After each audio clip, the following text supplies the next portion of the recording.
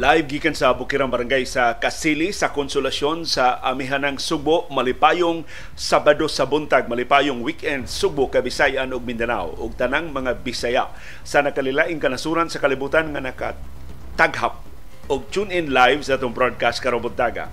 Doon natin latest weather forecast ang may balita ni Us-Us pagbalik ang amihan na na siya sa Metro Manila hapit na tiyali siya mo us-us sa pagbalik din sa ato sa Sugbo ug sa Kabisayan and hopefully sa Mindanao sa mosunod nga mga adlaw nakabatyag ko mas tugnaw karong butaga kaysa kagahapong adlaw.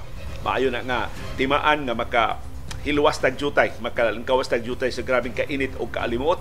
Hayag na diri sa among palibot sa Bukrang Barangay sa Kasili sa Konsolasyon. Natay latest weather forecast karong butaga ug na bonus gikan ni retired pag-asa Business Director Oscar Tabada nga bana-bana sa atong temperatura labi na sa heat index sa mosunod nga mga adlaw labi na karong weekend ug hangtod na unya sa sunod semana.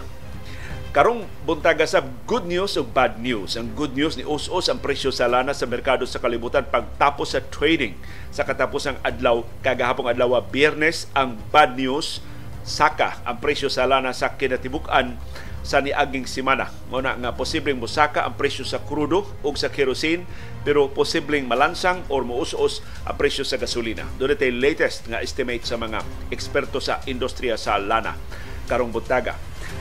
Karong buntaga sab ang atong latest COVID-19 cases nagpabiling ubos ang atong bago mga kaso sa COVID-19 pero ang Department of Health sama sa World Health Organization gusto nga musubay unsa man ang aktual nga kahimtang sa mga kaso sa flu o sa pneumonia sa mga bata sa Northern China. Ngano nga nabalaka man ang World Health Organization gusto sang magpakisayon ang Department of Health gikan sa ilang mga counterparts sa China. O karong buntaga si Senador Risa Hontiveros gitakdang mopasaka og resolusyon sa Senado nga muauhag sa administrasyon ni Presidente Ferdinand Marcos Jr. nga mutabang sa investigasyon sa International Criminal Court sa mga pasangil sa crime sa humanity batok ni kanhi presidente Rodrigo Duterte. Ang baruganan ni Marcos makalibog matod ni presidente Marcos dili angay nga mangimbestigar ang magbuot ang ICC nga imbestigahon si kanhi presidente Rodrigo Duterte o kinsa ilang imbestigahon dinhi sa Pilipinas pero sa samang higayon ni Marcos giton nila ang posibleng pagbalik pagpasakop sa ICC sa Pilipinas. So naglibor ang kutaw sa taga Davao, labi na ang wa pa mo gawa siya moskitero hanto ning higayuna.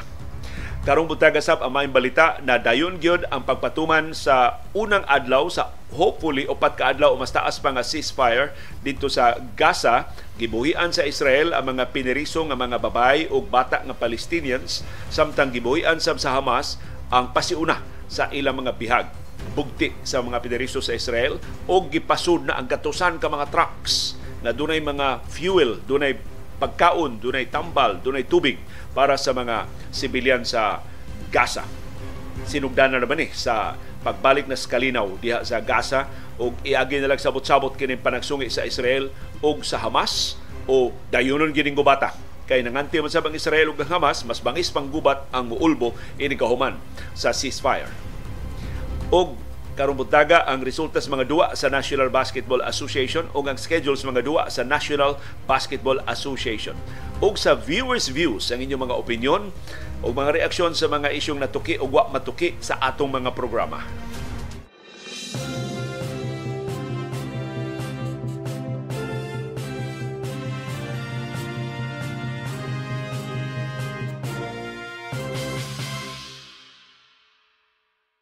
Kumusta man ang atong kahimtang sa panahon? Ang syudad ug ang probinsya sa Subo gipasidanan sa pag-asa nga perting inita o perting alimuuta karong adlaw.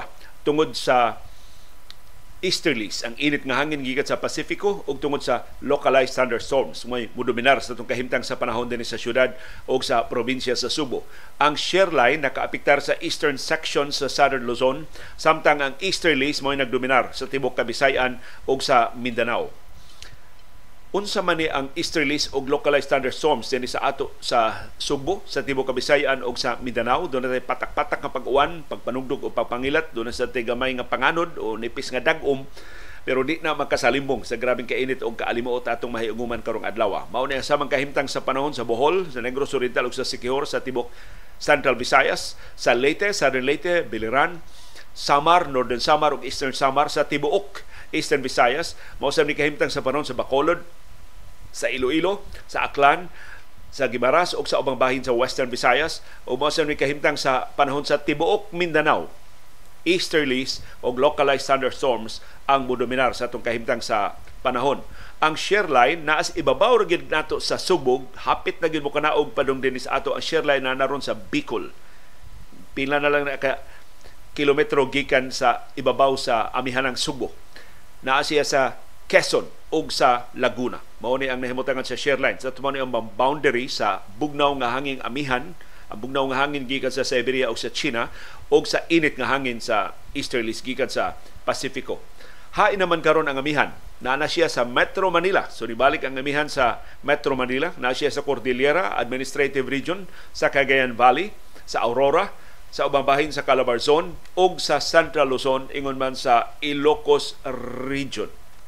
So hapit na siya mo kana og pagbalik ang amihan and hopefully makabatyag na ta og mas bugnaw nga panahon sa mosunod nga mga adlaw. Ang atong kadagatan din sa syudad ug sa probinsya sa Subo ug sa tibok Kabisayan ug sa tibok Mindanao light to moderate. Tungod ni sa hangin gikan sa silangan ug amihanang silangan nga bahin sa Pilipinas. So slight to moderate ang atong kadagatan 0.6 to 2.1 meters ang gidak-on sa loud luwas para sa gagmay nga mga sakayan Aniya ang bonus nato nga gasa gikan ni retired pag-asa Business Director Oscar Tabada ang iyang extended nga outlook sa maximum heat index og unsang orasa ang kinat tas anong temperatura din sa ato sa Metro Cebu hangtod ni sa Nobyembre 30. Kar- karong adlaw Nobyembre 25 adlang Sabado ang kinatas-an nato nga heat index 38 degrees Celsius alauna karong hapon. Batay-batay na to. Alauna ay mong pagpaupupas sa gawas. Balik mong sud sa inyong mga Pinoyanan o mas maayo adto mong aircon nga mga lugar sa mga sa mga shopping malls kung ma-schedule ninyo ang inyong mga lakaw. Ugma, Domingo, November 26, ang atong heat index 38 degrees Celsius alas 12 sa untong tutok. Inig ka lunes, November 27, muuso sugjutay ang atong heat index to 37 degrees Celsius between 11 a.m. and 1 p.m. Inig ka Martes, November 28. Musakag balik ang atong heat index to 38 degrees Celsius between 1 to and 2 p.m. Inig ka Miyerkules, November 29, ang us-us na sa pagbalik ang atong heat index to 37 degrees Celsius from 12 noon to 2 p.m. Og inig ka Huwebes, November 30, ang atong heat index Muus-us nga padayong us-us nga to sa 37 degrees Celsius between 11 a.m. and 2 p.m. Pero notisya lang ni ha dili holiday ang November 30 kay gibalhin ang holiday sa Bonifacio Day sa November 27. Sa ato pa karong Lunes ang trabaho so long weekend karon. Murag daghang mga biyahe teron ang dunay mga ikaplite, dunay budget pa sa pagbiyahe mahimo na sila nga mag long weekend kay balik sila trabaho inig kamartes pa kay holiday ang lunes maoy gi-designate sa Malacañang nga holiday sa Bonifacio Day. Although ang formal nga pagtimaan sa Bonifacio Day ari gihapon sa Nobyembre 30 pero doon na nay klase ug doon na nay trabaho anang adlaw.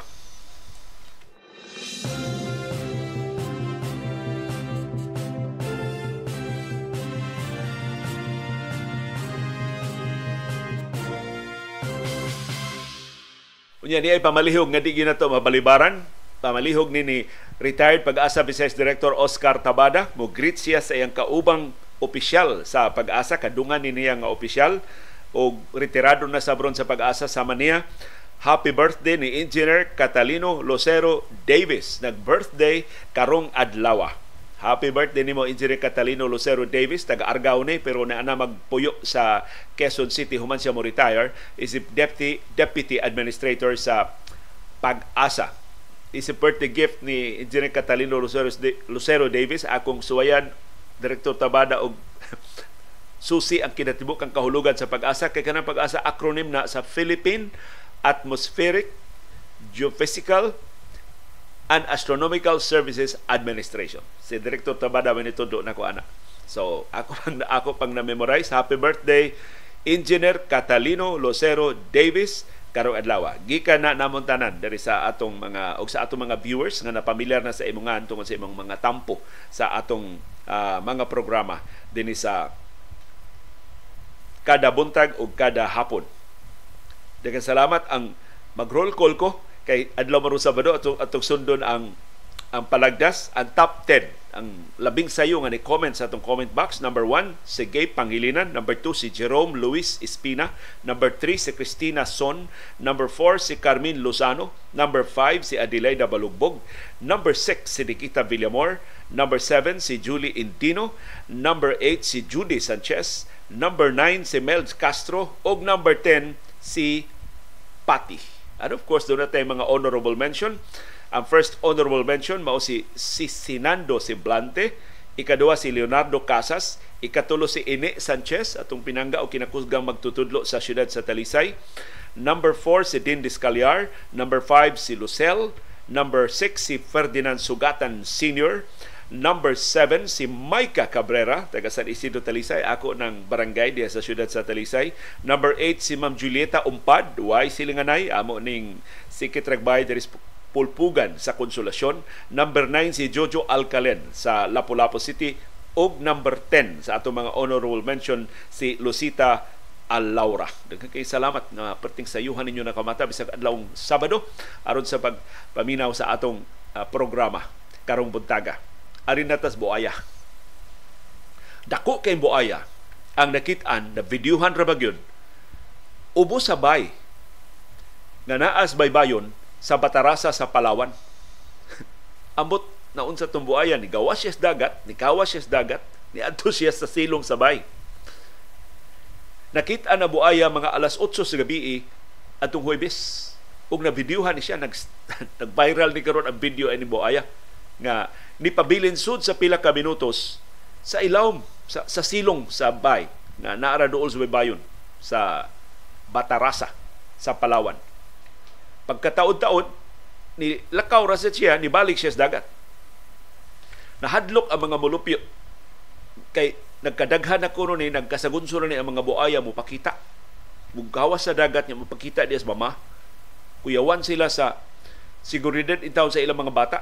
Maatlan mga bata magduwa. Unya makigduwa sa buaya kakuyaw. Mo nang gipahinumduman sa mga ekspertos buaya Nasa tayo mga eksperto sa buaya. Pero kani mga wildlife ba, experts diya sa Palawan. Ya, daghan, daghan ng grupo nga naglihok pagpreserbar sa wildlife sa Palawan. Mao bitaw nang napay mga buaya sa Palawan kay malapuso na nilang na preserbar. Dili ang iyang patyon ang mga buaya. Ug ang mga buaya mo manghilabot lang kun atong hilabtan. Nya labi na nga ang ila Pinoyanan ato nang giilog. Na na may nagbayron diha sa mga katunggan. Nagidili ba yaw? Dili na ang ngayon nga tukuran og bahay o butangan o mga human activities or mga industrial operations. Munang gipahinumduman sa mga eksperto ang mga mulupyo sa Palawan sa dili pagduol sa buaya. Naa ni buaya ayaw ninyong duula. Ang labing epektibo labaw na ayaw hikapa. Kaya na uba magpa-selfie ubas buaya nakakuyaw. Wa na makakita ninyo selfie to ana mo sa simbako tungol buaya ayaw hikapa ang buaya. Mao nay sulti sa may, kay matod sa mga eksperto, hikapo ni mo buaya ang iyang interpretation ana nag mo among-among kani mang hilabot kaniya sub sumbalikon kas buaya. Ya kana raw mga buaya ay mo ay mo kumpiyansa ng buaya kung nakaari na mo sa Crocolandia sa siyudad sa Talisay. Sus kanila buaya diha murag yung natug magpiyong-piyong pa. Pero nagi gamay kay gisi silang mata na gamay kay ngilits masa mata ba makita nimo nahibaw gi sila nahibaw ka natug na, na nagbata na sila. Magpiyong-piyong na sila. Unya pakit-on man na ang mga musuro de Crocolandia sa actual feeding sa buaya. Usa gini katibok manok ang ilawog sa buaya. Sus ang manok. Mao pa pag isa di pa ka ipaubos man ang manok para ngadto siya baba. Di pa makapaubos ang manok. Ang buaya mulayat na kuhaon na niya manok di ka katuo. Gikan sa iyang pagpuyo hilabi paspasan niya mo siya lupig ang makinastruck bitong buylo dayon so grapiha ng iyang arangkada sa buaya. Why why build up ng buaya? Gikan sa iyang pag duka-duka diretsog hamong sa lawg nga manok diya sa Crocolandia. So imagine kita mo ay maigo anang kaabtik sa buaya. So ayaw gyud mog duol, ayaw gyud mog hikap sa buaya. Kay isipon nas buaya inyong pagduol o paghikap na hostile action. O so balikon mo niya.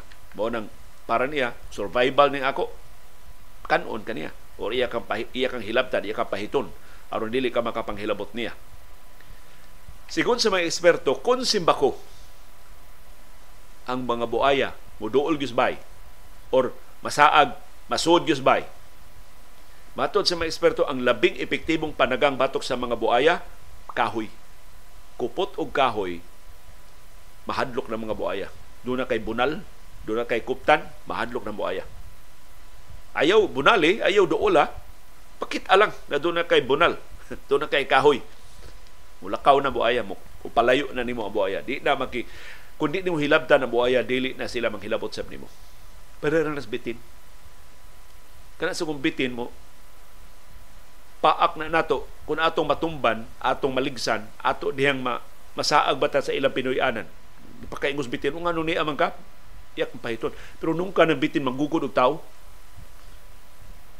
kana kon masuko na kita naramang dos pelikula kuno ang bitin manukod og manggukod og tao magdumot og tao ay lang hilabti ang mga bitin o mga buaya o mga wildlife ayaw hilabti kay wild sila o di sila kasabot sa imong gesture.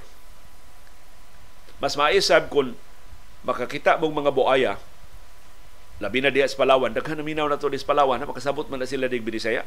Maayo kay na silang baso. Na, kana kong Palawan, mo siyang melting pot sa Visayas ug Luzon ug Mindanao. Na ay taga daghan kaayong mga Ilonggo diha, na daghan mga Cebuano diha, na daghan waray-waray diha, na daghan taga Mindanao diha sa nakaila nako sa Palawan. Tawga lang dayon ang Department of Environment and Natural Resources. Aron sila mao mo retrieve sa buhay. Kay doon nagay trained personnel ang DNR labi na sa Palawan sa DNR doon sila trained personnel unsaon pag retrieve ang mga buaya o unsaon pag abog sa mga buaya ang Batarasa usa sa mo gihulagway sa DNR nga mao labing crocodile infested area sa Palawan ang Palawan daghan kay na buaya pero kana yung Batarasa maoy labing daghan og buaya. Natsamba ba lang nga ang Batarasa popariha og sound sa batasang pambansa? Ug natsamba ba lang nga ang Palawan muraym sa Malakanian?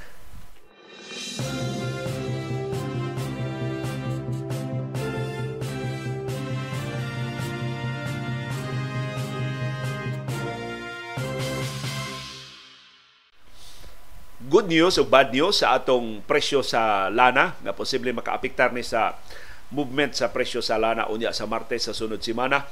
Ang good news na tapos ang katapos ang adlaw sa trading na ni us-us ang presyo sa lana sa world market. Ang bad news sa kinatibuk-an sa semana, karong semana ha, ni Saka ang presyo sa lana. First time ni na ni Saka ang presyo sa lana sa niaging kapina sa usa ka buwan. So doon na bana-bana ang mga eksperto sa industriya sa lana nga musaka, posibleng musaka ang presyo sa krudo. Basi una pala ni bana-bana maapektuhan ni yung pag-us-us sa presyo sa lana karong adlaw. So gahapon adlaw Biyernes. So posible maminusan ni dili ning una kadako ang pagsaka. Ang bana-bana sa saka sa krudo 20 centavos to 40 centavos per liter. Dili kay dako pero saka gihapon. Ang gasolina, posibleng way kausaban, posible sa muus-us og 10 centavos kada litro. Ang kerosene, mas dako, kinarak-an in fact og saka between 30 centavos and 50 centavos per liter. Pero posible mausab pa ni karong adlaw inig take into account na sa pag-us-us sa presyo sa lana kagahapong adlaw sa Biyernes ang katapos ang adlaw sa trading. Ang rason ngano nga ni us-us ang presyo sa lana gahapon sa world market mao ang ceasefire sa Gaza.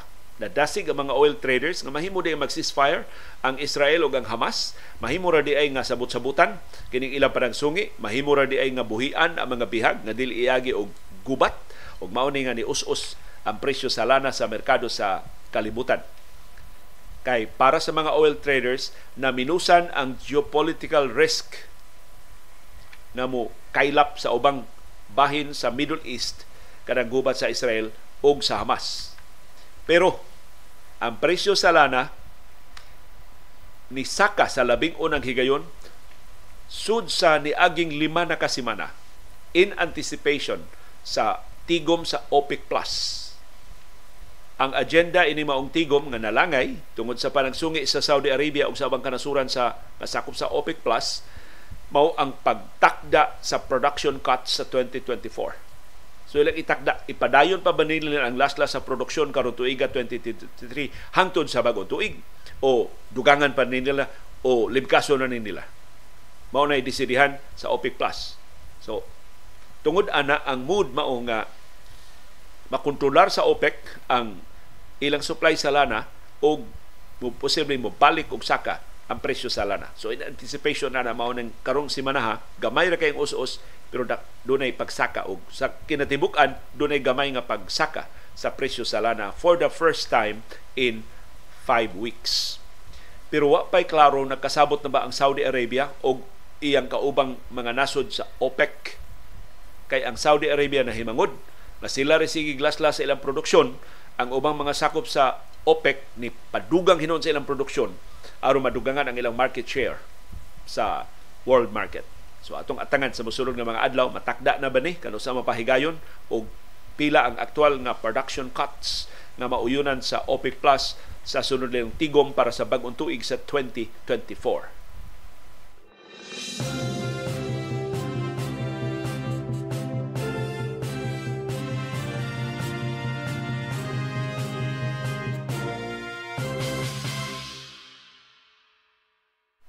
Og kini maong segment sa atong programa atong taytulan og Sana All ka makaiibog ining mga syudad nga gideklarar nga bike friendly sa tibok Pilipinas. Wa wa gi syudad dinhi Subo nga maka pasar ining bike friendliness nga kategory kay ang atong mga bike lanes wa ibog-ibog lang. Kana bang pintalan lang puti nya bike lane na na pero ang muagi mga dagko gihapong sakyanan. Wa tay paagi unsa pagpatuman ang nga mahimong mas luwas ang bike lanes. Kay gagmay sa kung kay atong kadalanan dinhi Subo bisan ang atong highways butangan nimo bike lane mo hiyos na pag-ayo mo hagipot na pag-ayo.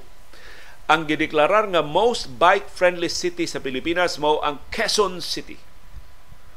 Usas labing dakong syudad sa tibok Pilipinas mo'y gideklarar nga labing mahigalaon sa mga bisikleta. Sigon sa 2023 Mobility Awards. Kada tuig do na may Mobility Awards o gipasidunggan ang mga syudad nga friendly, mahigalaon doon ay mga lag, klarong lagda sa mga bisikleta. Sigon sa Quezon City, kapin 16,000 ka mga bisikleta. Magbisikleta ang muagi sa 200 kilometros nga bike lane sa Quezon City kada adlaw. Uh, ini gidesignate sa Quezon City. Dagko sa daan sa Quezon City. So doon ay 200 kilometros nga bike lanes sa Quezon City giagian og 16,000 ka mga bisikleta kada adlaw. Pasaylua. Pasaylua pag-usap. Pero kada buntag na gid no? Ang direksyon karon sa Quezon City mao ang paghimog exclusive sa mga bike lanes para sa mga dunay bisikleta o sa mga bike enthusiasts magtukod ang Quezon City og permanente nga concrete dividers para gyud sa bike lanes. So di para sa ato nga linyahan lang ila-ilag yung sementohon ang barriers. aron nga di kasagulan ang mga bisikleta o kalikayan ang mga aksidente sa bisikleta. Di pasalig sab ang Quezon City nga sa mga bike lanes dunay tauro dunay itaod nga end of trip or middle of trip facilities para sa mga bikers So sa isig katumoy o posible sa tunga-tunga sa mga bike lanes, butangon og mga shower areas o butangan og mga comfort rooms para sa mga sugos lawas. Sus, kanindot aning balita. Ah. para sa mga magbisiklita. Magbisiklita ka pa daw sa opisina, gabot mo sa opisina, paningto na ka. Anindot kayo, ihapit o na ni shower room, uh, humot kay ka, report nimo sa imong opisina, naka-ehersisyo pa ka sa imong bisiklita. Ang Quezon City, labihan kadako na siya mo kinadak ang syudad sa Metro Manila. In fact, one-fourth sa Metro Manila mo ang Quezon City. Huas Quezon City, no? One-fourth sa tiwok Metro Manila, Quezon City. Kanang syudad sa Manila, ikumpara mo sa Quezon City, wala na kumingking. In fact, times 4 ang Metro Manila una makaambas sa gidakon sa Quezon City. Meaning, upat ka Manila City, may mong isud sa Quezon City. Mao na nga ang Quezon City determinado mo palambo sa ilang mga bike lanes aron mahimong ehemplo sa ubang bahin sa Pilipinas. Ug hinaot nagtan-aw ang mga local government units sa kalabuan diha sa Quezon City dinhi sa Subo mapalapdan ma di ba na to maambasan at least makasugod na lang ta og tukod og tinuod gyud nga mga bike lanes sa Cebu City, Mandawi City, Lapu-Lapu City, Talisay City, Naga City, Consolacion, Minglanilla, San Fernando, Karkar, Liluan, Compostela, Danau. Diha lang una takuto una. Una patamo. Pasayahay ba yung takadalanan sa kalusuran? Pero di na kay daghan sa mga magbisikleta dito lagyo na sa kaikon padung dinhi sa Metro Cebu ang ilang destinasyon. Quezon City ang number one. Ang number two, mao ang Iloilo City. Ngilngig ang Iloilo. So, mo na nakangilngig og maayo ang mayor kana si Mayor Treñas sa Iloilo ngilngig na mayora. Og number 3 ang syudad sa Baguio. So si Mayor Benjamin Magalong wa sa pabintaha. Congratulations ni Mayor Belmonte sa Quezon City, Mayor Treñas sa Iloilo City ug Mayor Magalong sa Baguio City ang top 3 sa mga bike-friendly cities sa tibuok Pilipinas. Sana all.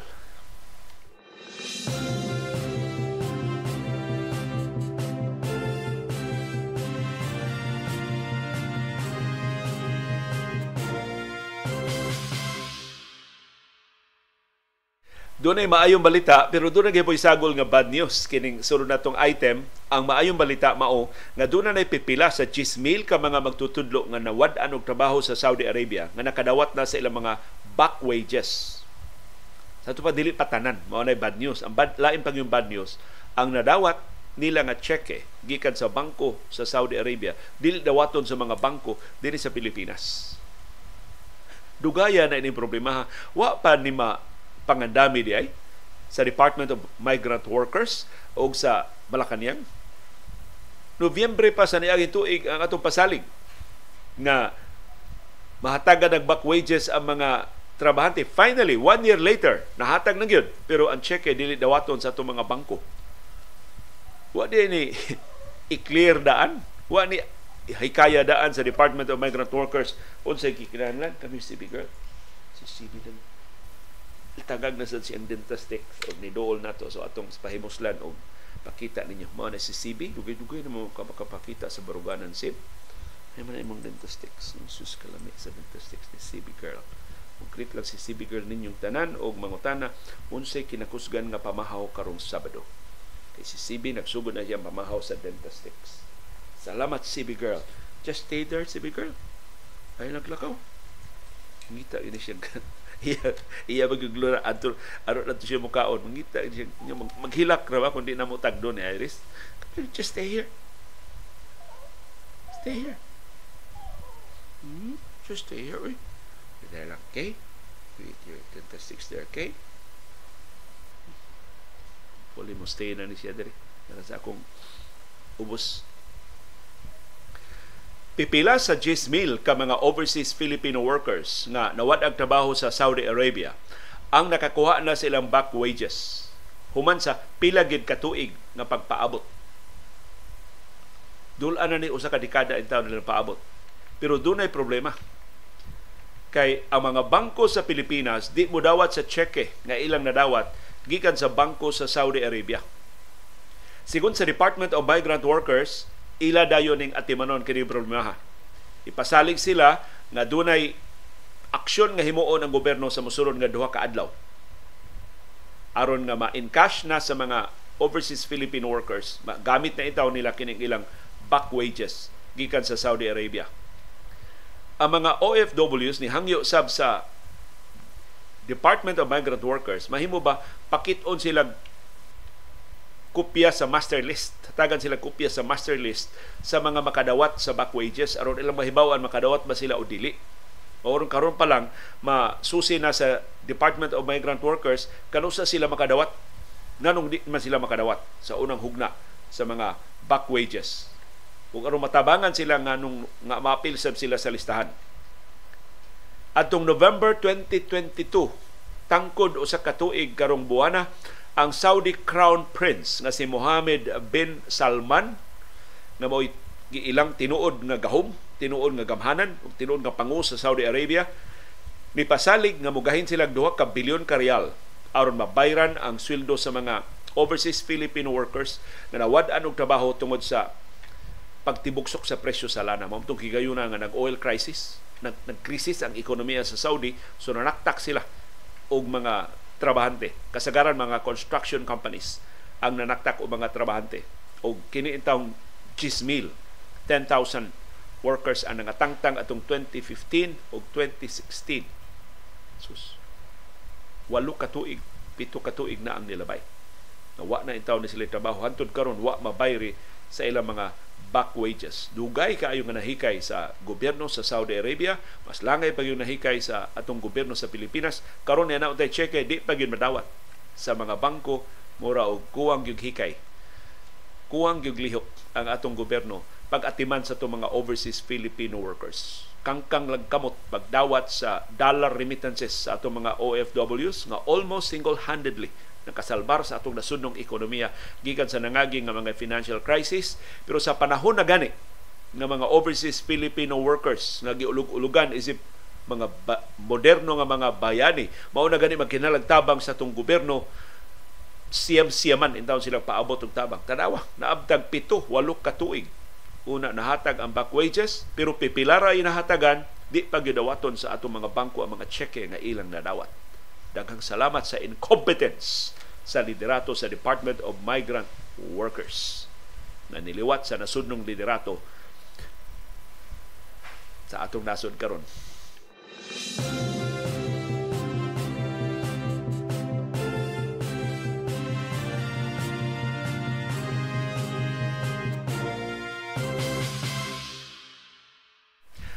Ang maayong balita, nagpabiling ubos ang atong bag mga kaso sa COVID-19 sa tibok Pilipinas although kapin tag duha ka gatos for the second straight day pero dili ni sama ka sulbong sa nangagi nga mga tuig. Kung hinaot di na lang ta mahibalik anang lain na sa mga surge sa mga kaso sa COVID-19. Sigon sa Central Office sa Department of Health, doon natay 223 kabag o mga kaso sa COVID-19 tibok Pilipinas gahapong adlaw ang atong active cases niabot og 3,226 ang mga pasyente nga nahibilin sa atong mga ospital ug isolation facilities sa tanang rehiyon, tanang probinsya, tanang syudad, tanang lungsod sa Pilipinas. Ang atong positivity rate ng pabilin at 6%. Wa mo saka, wa sa muusos, wa mo lapad, wa mo hinay Nagpabilin ang tinagdanay sa COVID-19 at 6% sa tibok Pilipinas. Ang kinadaghanan og bag-ong kaso sa COVID-19 mao gihapon ang Metro Manila dunay 60 sa isinta kabag-ong kaso gahapon. Dinis ato sa Subo Central Visayas double digit ang atong bag-o mga kaso gahapong adlaw 14 ang bag-o mga kaso sa COVID-19 sa tibuok Central Visayas. Finish na bing girl? Ano na si CB? Kaon siyang sticks diri sa samtang naminaw sa atong programa. Ang kinadaghanan og bag-ong kaso gahapon mao ang Cebu Province dunay lima ka bag-ong kaso sa Cebu Province. Ika duha ang Cebu City dunay upat ka bag-ong kaso sa COVID-19. Dunay duha ka bag-ong kaso ang Mandawi City, dunay duha ka bag-ong kaso ang Lapu-Lapu City, dunay usa ka bag-ong kaso ang atong silingang probinsya sa Bohol. Way bag-ong kaso sa Negros Oriental, wa say bag-ong kaso sa Sikihor. Maayo ang balita para sa atong silingan nga mga probinsya sa Negros Oriental o sa Sikihor. Ang atong active cases dinhi sa Central Visayas di saka ngadto sa 150 mao ni ang mga pasyente na hibilin sa atong mga ospital o isolation facilities sa Subo, sa Bohol, sa Negros Oriental ug sa Sikihor. Ang labing daghan og active cases mao ang Cebu Province nga dunay 40, ikaduha ang Cebu City dunay 38 ka active cases, ikatulo ang Bohol dunay 32 ka-active cases. Ikaupat ang Mandawi City dunay 13, 13 ka active cases. Ikalima ang Lapu-Lapu City nga dunay 12 ka active cases. Ikaunom ang Negros Oriental dunay 11 ka active cases ug ang kinagamyan iwit sa active cases dunay upat ka active cases ang atong silingang probinsya ug isla sa Sikihor. So hinaot dili una ta mo kumpiyansa. Di ta mo lugak sa atong pagmatngon. Di ta mo kumpiyansa. Di ta mo hunong sa atong pagbantay. Padayon ta mo observe sa minimum health protocols. Kay karon ra ba oh, ang mga kaso sa pneumonia o sa flu sa China gi kabalakan nga manakod dinhi sa ato makatabang ang face mask sa paglikay sa pagkatap sa kagaw Sulob tag face mask, din nato tangtangon atong face mask labi na sa crowded areas o congested areas. Labi na ka ng mga lugar nga way klaro nga ventilation, ay gyud mo kumpiyansa. Sulob gyud og face mask. Di ta mo sa so, kinahanglan nga mga tapok-tapok o kung doon na tayo igo nga pailob o panahon, tabang tag may-may, batok sa way kapuslanan nga mga kiat-kiat.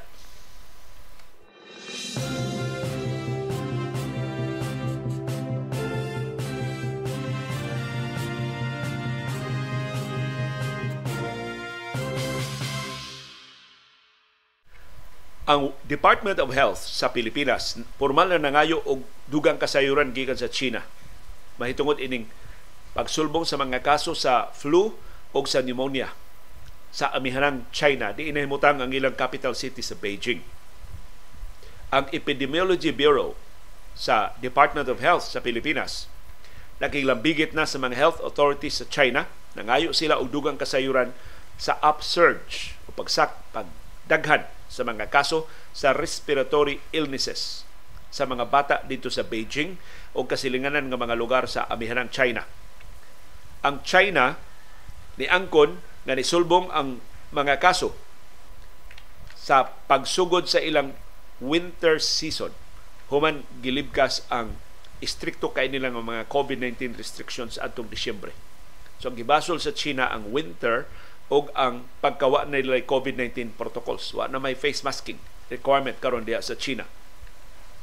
Ang mga kaso sa nangasakit nga mga bata hilabihan kataas sa amihanang bahin sa China labi na sa Beijing o sa probinsya sa Liaoning. In fact, ang mga ospital sa Beijing o sa Liaoning nipasidaan na sa mga pasyente nga posibleng taas ang linya sa mga pasyente. Una sila maatiman. Posibleng maghuwat sila og pila ka oras una sila maatiman tungod sa kadaghan sa mga pasyente. So wa pa muawa sa mga pasyente, wa pa sila mamalibad o mga pasyente, pero tungod sa kadaghan sa mga pasyente, malangay. Di balibaran, pero malangan ang pag-atiman sa mga pasyente. Matod sa Department of Health, ang ato mga kaso sa influenza-like illnesses o ILI, kini mga trangkaso, ubo, sipon, nagsigi pa og saka pero slower na ang pace. Di na sama kapaspas sa nangagi nga mga buwan. So katong pangagpas nga ni plateau na, wa jud mo plateau, nagsige pa siya og saka pero mas hinay na ang iyang pagsaka. So hopefully padung na ni nato mabadlong ang pagsulbong sa mga kaso sa flu o sa pneumonia diri sa ato sa Pilipinas. Ang World Health Organization mas una man nangayo og kasayuran gikan sa China, nakakuha na og kasayuran ang WHO gikan sa China Matod sa World Health Organization, ang data na gihatag sa China nila nagpakita nga mga kaso na hilambigit yun sa paglibgas sa COVID-19 protocols ug ingon man sa pagkatap sa mga kagaw nga kasagaran makaapektar sa mga bata sukad pa sa Mayo karong tuiga. Sunog na dungan-dungan ra actually din sa ato pero karon pa ni sulmong ang mga kaso dito sa China. Ug tungod sa kadaghan gusto China mabalaka man ta ug tungod sa kasayon lang sa pagbiyahe sa nagalaing kanasuran sa kalibutan dunay sukaranan ang kahadlok nga mukatap dayon ang bisan unsang kagaw nga nisulbong diha sa China. Matod sa Department of Health, sa niaging buwan ang mga kaso sa hilanat, ubo, trangkaso diri sa Pilipinas saka og 45% karong tuiga kung ikumparar sa samang higayon sa niaging tuig. Niabot og 151,375 ka mga pasyente ang naigo silanat o ubo o trangkaso sa mga ni-report lang sa mga ospital din sa Pilipinas as of October 13 this year. Kung ikumparar sa samang higayon sa niyang tuig sa 2022, doon nalay 104,613. So, karong tuiga, doon natin 151,000, ikumpara sa 104,000 last year. So, nisaka ta og dulan 50,000 ka mga kaso sa mga trangkaso sa sipon ug ubo ug hilanat. So magbantay ta. O usas ban, usas sa mga sagang sa pagkatap ining kagaw sa hilanat, face mask. Ya, palayo mo anang mangatsi, palayo mo anang magubo na dili manampong sa baba. Ayaw mo kaikog. Inyong gisalbar inyong kaugalingon gikan pagpanakod sa kagaw nga mo alibwag inig atsi inig ubo nila.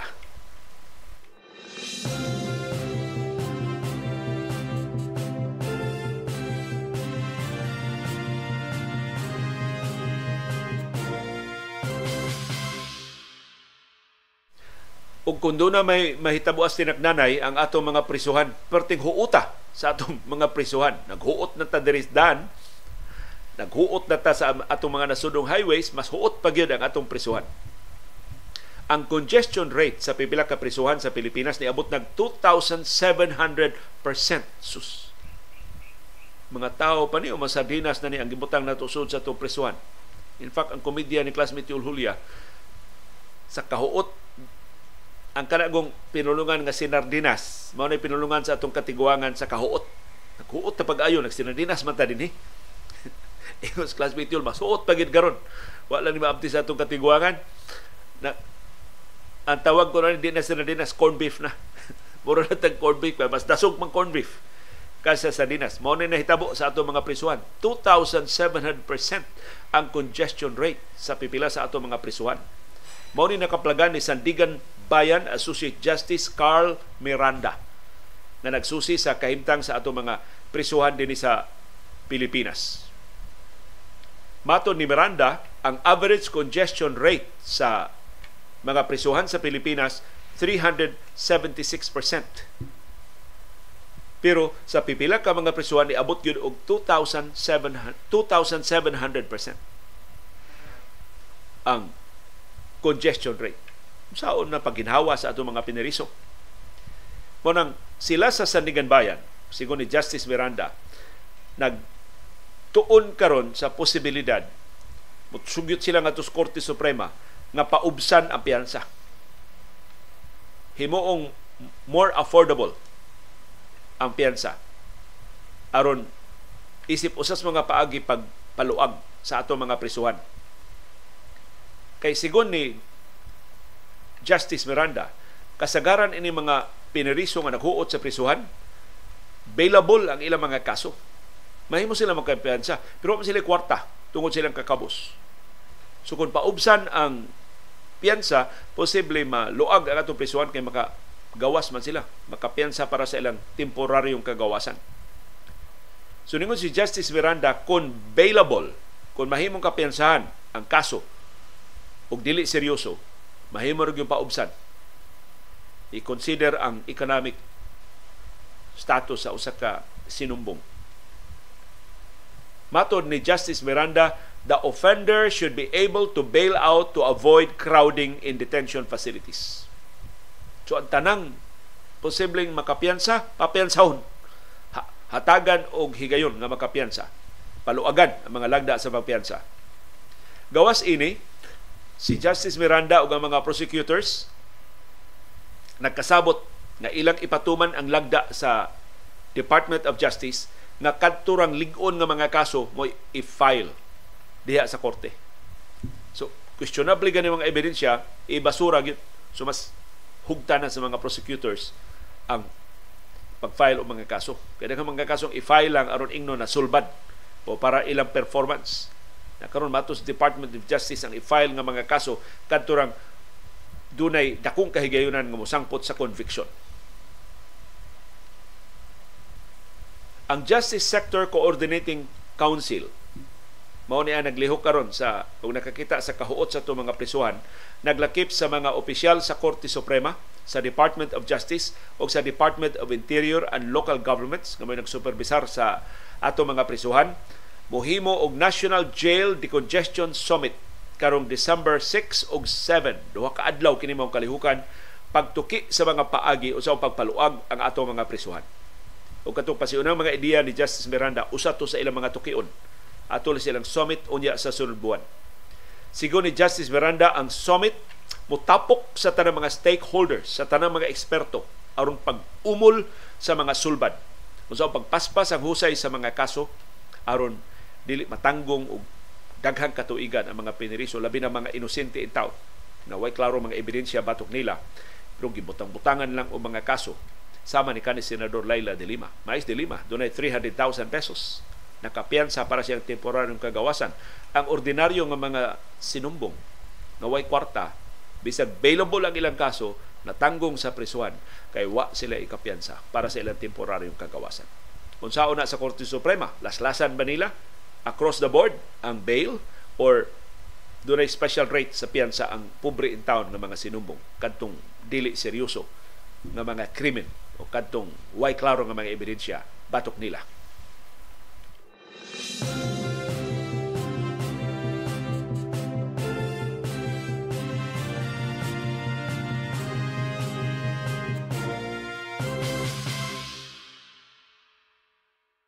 Na doon natin mga reaksyon sa atong mga viewers mahitungod sa bike lane ngano wa ta maapil sa gipasidunggan nga bike friendly city sa Pilipinas. Mato ni Live the Philippines maglisod yung telig butang o mga bike lane sa Subo wa man gani lugar para sa sidewalk. Tinuod na mga dahan din ni Subo nga way sidewalk. Si Kant Manuel ningon sa downtown Cebu City wa na nag face mask. Wa naman nag-require ang face mask sa bisan asa nga bahin sa Pilipinas. Gilibkas na ni Presidente Ferdinand Marcos Jr. ang minimum health protocols sa face mask. Ang ato lang awhag ba para sa mga dunay comorbidities, para sa mga senior citizens, para sa dili kay ligon og mga immune system, bantay ta. Mato ni Ferdinand Sugatan Sr., never will be a bike-friendly place ang Cebu, especially Cebu City. We have canals between sidewalks and the roads, thus making cyclists in real danger if they fall into the canals. So mao ni ilang mga obserbasyon nga maglisod gyud ta gawas kon mapalapdan ang atong kadalanan sa Cebu City. Pero kakita ko mga bisikleta, daghan kay magbisikleta sa Cebu City, there is Mandawi City, sa Lapu-Lapu City nga sungasong sa trapiko, mo ipon sa trapiko. Kay wa may klarong bike lanes. Peligro para in town sa mga bikers. Si Ferdinand Sugatan Sr. ni hinumdum si Presidente Ferdinand Marcos Jr. usa sa signatories sa concurrence sa Senado sa Pilipinas sa pagpamiyembro sa International Criminal Court. Maukuno na nga di kahibungan na si Marcos nagtuon karon sa posibilidad nga mobalik ta pagkasakop sa ICC nga naka pa-insecure pag-ayo sa mga Duterte. Si Romelito Estela niingon gihimo man og parking lot ang bike lane diri ato labi na diha sa kasuntingan sa merkado sa siyudad sa Mandawi. Uy, atensyon, Mayor Jonas Cortez, nahimong parkinganan ang bike lane sa siyudad sa Mandawi. Kay diri sa Mandawi, gipintalan ra ang bike lane, wa gyud ma butangi og mga physical barriers. Unya mo greet og happy birthday ni Engineer Catalino Lucero Davis ang ato mga viewers karong uh, buntaga. Ato ning viewer des Quezon City si Engineer Catalino Lucero Davis. Si Rebecca Madali Niingon ang kinadak ang buaya naas Malacanang. Ang usa tuwa na pa natug pa siyang moskitero sa Davao. Kailasan mo mga buaya diri sa ato ha. Si Sam Dapi niingon mo adto pa Dios Malacanang ang Senate o ang House ug uban pa mga ahensya daghan na kuno kay mga buaya. Unya mas dagko kuno baba ang mga buaya sa mama kaysa kada tinuod yun ng mga buaya diha sa kadagatan sa Palawan Ingon si Attorney Carlos Alan Cardenas, basta kuno ang mga mayor o mga politiko maghisgot na kuno buaya, mo smile na lang kuno siya ngadto sa ato mga politiko. Mato ni Edison Gasparillo kanang mga buaya sa Senado, sa Kongreso, sa City Hall o sa Barangay Hall, pwede ba sab na hikapon? Ayaw hikapa kay ma, mas nagdapat na sila gravies kaysa tinuod ng mga iro napay kahadlukan sa buaya, na mas kahadlukan sa buaya sigo ni Roderick Avancenia kanang gibotara nato kada eleksyon. Mauna ko ang mga buaya. Si Danny Canales niingon daghang buayas Malacañang og sa Kongreso ug sa Senado ug ubang mga ahensya sa gobyerno. So ito na kayo ang atong mga tigpaminaw sa asa ang buaya. Si Jess Lucero Davis, elder brother ni ni Catalino Lucero Davis, mo greet ko og happy birthday ni Catalino Lucero Davis. Uy, managsuon ha nga Davis na minaw nato si Jess Lucero Davis. Mo greet siya manghod na si Engineer Catalino Lucero Davis. Daghang kayong salamat sa inyong pagtanaw sa atong programa karong buntaga.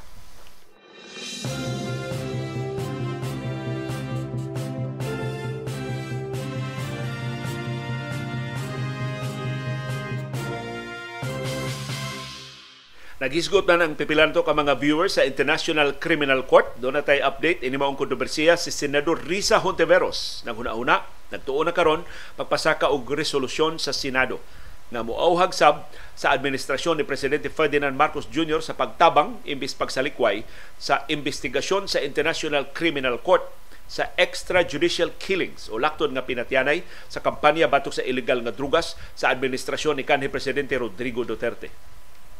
Mato ni Hontiveros, iyang dasunan ang mga resolusyon nga gipasaka sa House of Representatives nga mao sama ang katuyuan. Doon na labing minus tuto ka resolusyon ang napasaka sa House of Representatives. Ang kinauwahian mao ang resolusyon nga gipasaka ni Kongresista Bienvenido Abante Jr. sakop sa Majority Block Chairman sa House Committee on Human Rights mo kapakugang sa mga Duterte nga oy mura kang Romualdez tani kay tao maning Romualdez si kongresista Bienvenido Abante Jr.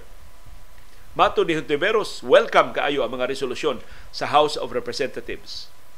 Mato ni Hontiveros, hinaot na kining diskusyon na karon sa posibleng pagtabang nato sa International Criminal Court will create a more conducive environment so the Philippines can return as member of the ICC. So mao ideal gyud nga sitwasyon na mahimutang sakop sa balik sa International Criminal Court. Imo mo kinsay labing maayo mo explicar sa kapuslanan sa membership sa International Criminal Court si Anhing Miriam Defensor Santiago. Si Santiago, si Enrile ba ito? Mo Senate President itong higayon niya. Supak ba si Enrile sa ICC? Pero si Santiago, siya may gihimong chairperson sa Subcommittee on ICC membership sa Senado ni atong higayuna, siya gyud nag-apura nga magpasakop sa ICC ang Pilipinas. Mutong sa iyang pag-apura, si kanhi Presidente Joseph Estrada ni perma sa ICC membership December 28, 2000. Usa ka buwan sa pa siya na EDSA 2. Pag-abot ni Gloria, Gloria di manganahan. Kay daghan kay human rights violation si Arroyo kuyawan man siya siya unang imbestigahon sa ICC. So wa gyud niya permahi, wa sa niya ipas, ipada sa Senado for concurrence or ratification. Pero atol sa administrasyon ni Arroyo, si Anhing Miriam Defensor Santiago na sig apura, pamimbro ta sa International Criminal Court. Wa gid natapos na ang termino ni Arroyo, siyam katuig to ang termino ni Arroyo, pagkatapos 2010, ni asumir ang bagong presidente, iya na sang gikampanyahan si anhing presidente Noynoy Aquino. Finally, iyan na kumbinser si Noynoy pagperma sa atong membership, pag-ratify sa atong membership sa International Criminal Court Pebrero sa 2011. Less than one year human sa pag-asumer ni Noynoy sa, sa Malacanang. O gi concur sa Senado, gi-ratify sa Senado ang atong membership sa International Criminal Court pagka-Agosto 2011 tungod sa sponsorship speech ni Santiago nga perting lingga. 17 ka mga senador ang niperma. Apil na si kanhi senador karon presidente Ferdinand Marcos Jr. Nakumbinser siya Santiago sa kadako sa kapuslanan magpamimbro ta sa International Criminal Court. Og unsay significance sa 2011 atong tuiga mao ipagpangulata ni kanhi Davao City Mayor karon Vice Presidente Sara Duterte Carpio og court sheriff. Amot gituyo ba? Pero na, na timing katong tuiga pagpamimbro nato sa ICC mao pagpangulata ni VP Sara sa court sheriff kung kato ingon siya nga makabilitol ko no o makadegrade ko no sa atong legal institutions kung tugutan ang investigasyon sa ICC mas nakabilitol o mas naka-degrade sa atong sistema sustisya ang iyang pagpanglaktod sa mga lagda. Kung siya ganahi sa gibuhat sa court sheriff, mahimo ba yan ang ikusyon sa korte? Ganong iya magikulata ang court sheriff. Kung ang court sheriff di ko duwa kapanagang kay gipugngan sa iyang mga gwardya So ang mga pulis imbis mo uwang ni pugong sa court sheriff aron dili maka sagang sa kulata mao to perting hubuyas now nasirado kong mata na ospital gud ang court sheriff. Sa kadakos kumo ni kanhi mayor karon VP Sara. Matod ni Senador Hontiveros nga angayan lang natugutan ang ICC mangimbestigar sa laktod nga pinatianay. Kay nahitabo sa wa pa mugawas ang Pilipinas sa ICC atong 2019. Nagtuo si Ontiveros mas makauuaw para sa justice system sa Pilipinas kundi ta mudawat sa tabang sa international community sa kapakyas sa niaging administrasyon ug hangtod karon sa administrasyong Marcos pagpasaka mga kaso sa mga responsable atong laktod nga pinatyanay nga gibadabanag ni Kalas og 30,000 ka mga biktima. Apil na ang inosente nga mga sibilyan sa pataka lang nga kampanya batok sa illegal nga drugas ni kanhi presidente Rodrigo Duterte. Ug tuod man napupos ang iyang termino nga ni samot. Wa masulbad ang problema sa illegal nga drugas.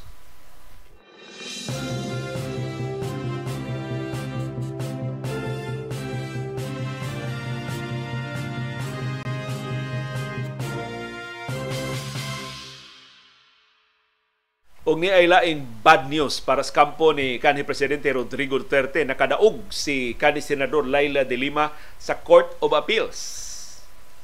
So murag nag sugod na gid ang vindication ni kanhi senador Laila de Lima.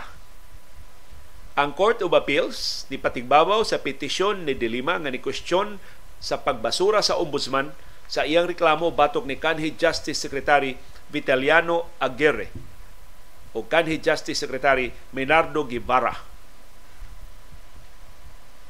Ang petisyon ni Dilima nag-question sa gihimo nilang Aguirre o ni Guevara pagdawat isip state witnesses sa mga konbiktado nga mga kriminal. Aron lang gini pagpakauaw ba Dilima bisan ang konbiktado mga kriminal gidawat nilang Aguirre o ni Guevara isip state witnesses gipatigbabaw sa Court of Appeals ang petisyon ni Dilima nga nagkwestiyon sa dismissal sa ombudsman sa kaso nga iyang gipasaka batok nilang Aguirre ug ni karon Solicitor General Minardo Guevara. Gipasangin lang ni Dilima silang Aguirre ug si Guevara nga nakakommit og dereliction of duty. Nagpabaya sa ilang pwesto tungod silang pagdawat isip state witnesses sa konbiktado ng mga kriminal labi na gyud ang mga ni-testify batok niya. So kabahin to sa kampanya sa gobyerno pagduot gyud dilima hasta ang konbiktadong mga kriminal gidawat isip state witnesses. So niingon ang Court of Appeal sayop ang ombudsman pagbasura sa kaso ni Dilima. Balik ang kaso, girimand ang kaso ngadto sa Court of Appeals kay dunay sukaranan si Dilima pag sa lakang nilang Aguirre ug ni Gibara. Matod sa Court of Appeals, there was no valid reason for the Ombudsman to have refused to conduct an investigation on the administrative charges filed by petitioner De Lima against respondents Aguirre and Gibara. Matod sa Court of Appeals, ang pagdumili sa ombudsman, paghusay sa kasong ipasaka ni De Lima, sukwahi sa iyang mandato ubos sa balaod ug dili angayan nga tugutan sa korte So kauwaw ani sa buhatan sa ombudsman. Isugo sila sa Court of Appeals. Tukian ninyo ka ng petisyon ni Dilima gipasaka in 2018. Dugaya na ini petisyon na. Five years old na ang petisyon. Karon pa matuki sa ombudsman. Matod ni Dilima, dako kayong iskandalo sa atong sistema sa ustisya nga gihimong mga state witnesses nakapahimo sa mga benepisyo sa Witness Protection Program. Witness Protection Security and Benefit Program ang mga criminals na nakonbikto na. Og specific kayo ang pasangil ni Dilima. Matod ni Dilima, kalapasan ni sa Republic Act 6981 o Witness Protection, Security and Benefit Act nga nagdili sa konbiktado mga kriminal isip nga offer silang kaugalingon og dawaton isip state witnesses.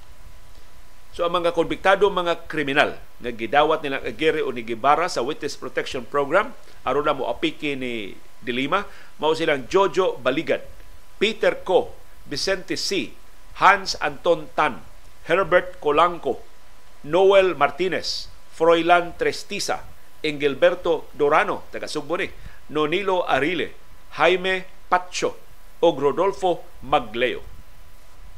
Sila gipresentar ni Aguirre atong 2016 atol sa hearing sa House of Representatives Committee on Justice. Katong papapel gitong Aguirre. Palapad gito siyang papel ni kanhi Presidente Rodrigo Duterte nga iyang nakumbinser ang konbiktado mga kriminal pag-testify batok ni Dilima. Nakaron ang tanan nga konbiktadong kriminal nga ni-testify batok ni Dilima ni suwat sa korte og niingon gipugos silang agire.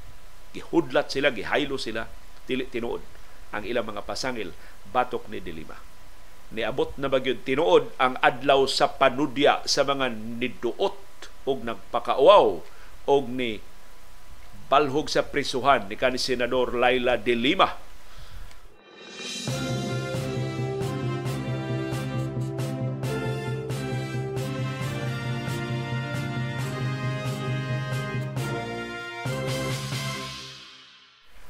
Sa iyang bahin, si Defense Secretary Gilberto Teodoro Jr. niingon ang Pilipinas ug ang Estados Unidos mo pahigayon og dugang joint patrols sa West Philippine Sea. Matod ni Teodoro, nadasig sila sa kalampusan sa labing unang joint patrols nga gipahigayon sud sa tulo ka adlaw gitawag og Maritime Cooperation Activity MCA sayo karong simanaha matod ni Teodoro dunay dugang pa ng mga joint maritime ug air patrols ang Pilipinas ug ang Estados Unidos. Og niingos Teodoro di ni ang ngayang himuong isyu sa China. Kay katungod sa Pilipinas ang pagpatrolya bisan asa. Ma-high seas man o sa kadagatan man sud sa iyang jurisdiksyon pinasikan sa international law.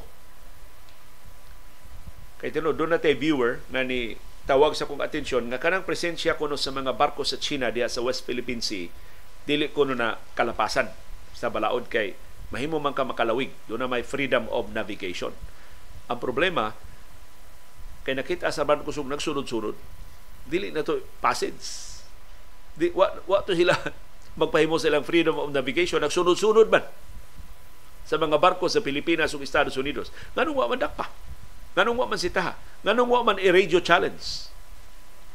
Sa barko sa Pilipinas ug sa Estados Unidos. Mo akong pangutana.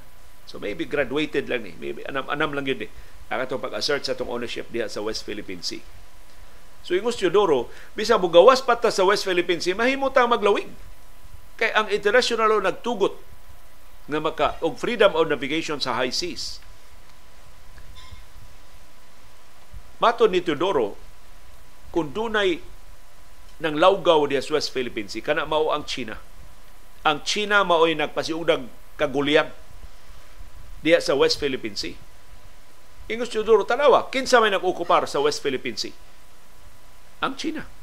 Nagtukod o mga artificial islands. Nagbutang o mga military bases sa ilang mga artificial islands. Kinsa may na-encroach sa West Philippine Sea? Ang China. So sila mo nag haling sa kaguliyang. Sila mo ay nakapasulbong sa tensyon diya sa West Philippine Sea. Sila pa'y namangga og barko. Sila pa'y mo gamit og water cannons. Sila pa'y mo gamit og military grade nga laser. It is China, mato ni Teodoro. The Philippines is not stirring up trouble. This is a reverse of the truth. So sa mas naandan na makak nasab ang China kung dili ang ngayon nga tuuhan. Mao nitubag ni Teodoro sa latest statement sa China na nangitag gubot ang Pilipinas sa West Philippine Sea sa atong pagpatabang sa Estados Unidos sa ubang kanasuran. Mato ni Teodoro way magbuot nato ato manang nataran ato manang nasudnong teritoryo. Kung ato pasudlon niya Estados Unidos ng Japan ug ubang kanasuran, doon na pagtugot nato, way maka-question bisan unsay atong himuon sud sa atong kabtangan, sud sa atong nasudnong teritoryo. Ang China moy dili ang ngayon nga manghilabot kay layo ra kay nas China dili na kabahin silang exclusive economic zone. Bisag ipaagi pa sa United Nations Convention on the Law of the Sea. Labi na sa atong arbitral ruling nga nadaog sa Pilipinas atong 2016 gipasaka nga kaso ni anhing presidente Noynoy Aquino batok sa China na pilde ang China sa Permanent Court of Arbitration. Ug gipatigbabaw sa PCA ang atong ownership sa mga features apil sa mga isla diya sa West Philippine Sea including the Pag-asa Island ug ang Ayungin Shoals. So tinuod asulti ni Teodoro ang China mao why sukaranan why bisan gamay nga sukaranan sa balaod pagpanghilabot pagpanghasi pagyud diha sa West Philippine Sea.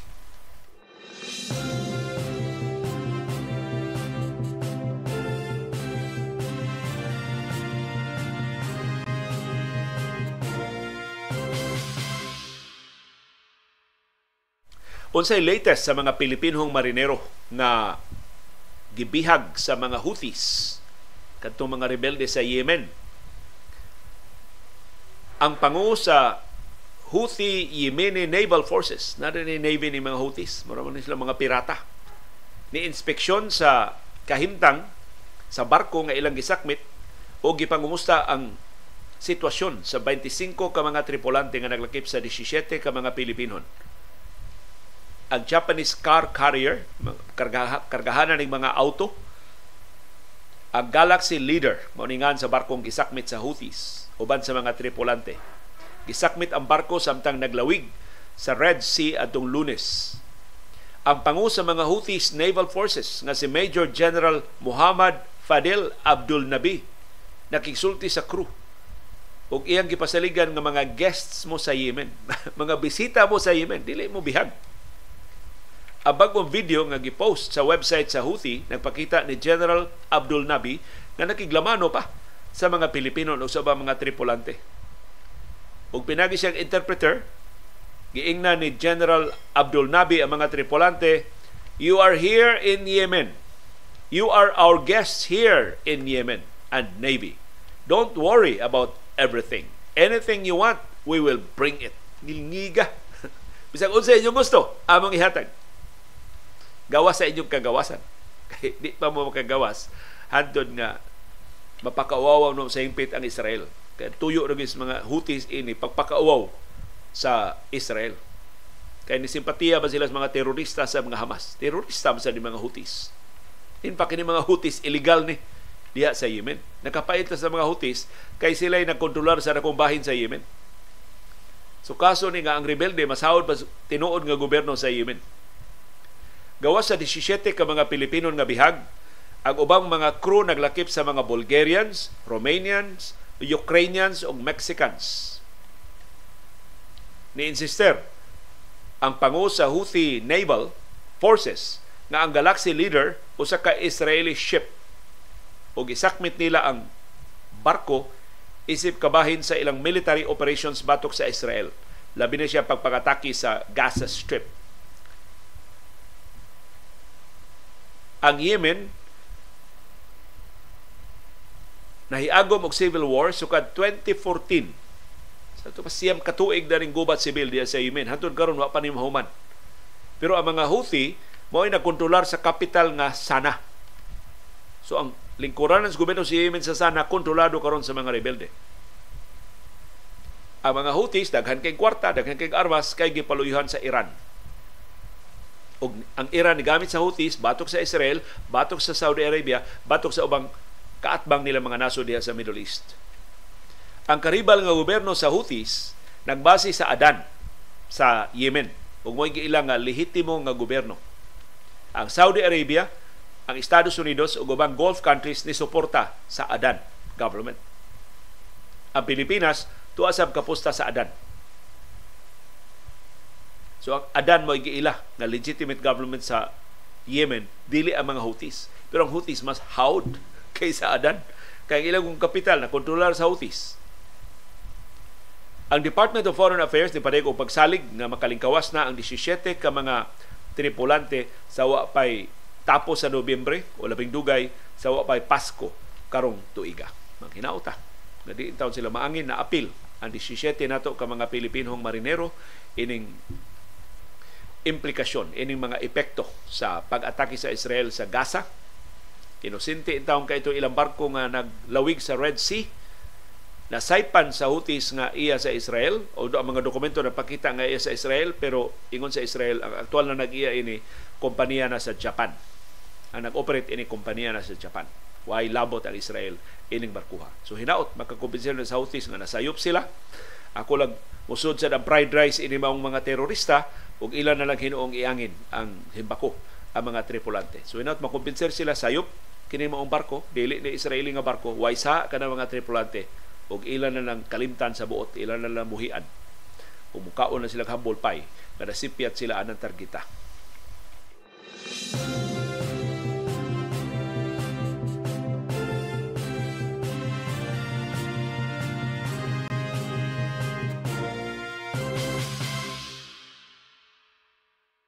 Si Mamlina Bantilan dunay pangutana. Posible ba nga si Pau Chief Presida Acosta maapil sa kaso batok ni Senador De Lima. Si De Lima niingon na nga iyan ang gipasaylo ang tanan nga nakasa niya except Aguirre and Duterte.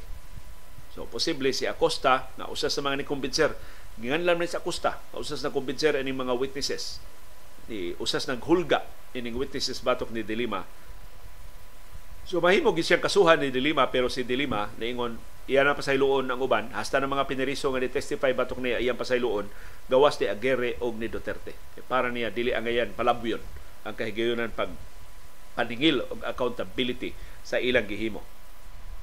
Si Christina Son niingon si VP Sara murag dili abogada, murag iyang mga views sukwahi sa iyang profesyon. Namo nang napangutan-an lagi na si Sara nga abogado de katorne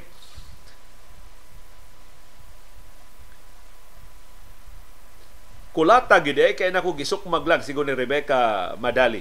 Si dili kulata og sukmag kausara ka duhara kadto kulata gyud na ospital gud ang court sheriff. Og in fact ang court sheriff nilayas tibuok niyang pamilya gibakwit sa Korte Suprema gikan sa Davao. Kay nabaw sila dili gyud tubuhion ang court sheriff kon magpabilin diha sa Davao. Mato ni Kant Manuel kanang description sa buaya muhaom gyud sa taga Davao nagpaluya-luya, nagpatugtog, pero mangtas daing dako. Mato ni Constantino Gandiongko, nindot dinis ato, kay hasta mga buaya tawgon lang gihapon excellency o honorable. Nya, hilas na kini mga politiko ang ila mismo mga nameplate butangan nila honorable. Ma maikog bonta sila ba? Ang ibutang ang posisyon lang. Mayor lang. So butang nga honorable mayor so and so. Honorable councilor so and so honorable congressman, so and so. Pastilan. Pagka sakto si Constantino Gandiungko. Ang mga buaya tawag na itong honorable. Mato ni Nino Valdez Peñosa, murang naa sa Coconut Palace ang kinadak-an og labing kahadlukan nga buaya. kung wa siya masayop. So, ang Coconut Palace, mao ni Pinoy Anan no, ni VP Sara. Abot na balhin na ba ang Office of the Vice President sa Coconut Palace? Kay gustong gini siya naas palasyo si Robredo ra ito nangabang ng opisina. Diya sa ke diya wag ito mangabang gi, gilibre sa Quezon City government kadto si VP Lenny Robredo. Si VP Sara gusto siya minilyon ka peso nga budget magbuot mo. Adto siya puyo sa palasyo. Si Agnes Modesta sa Baltan mo greet og happy birthday ni Bong Rostia. Si Bong Rostia Agnes na ba sa New Zealand? Happy birthday nimo niya Bong Rostia.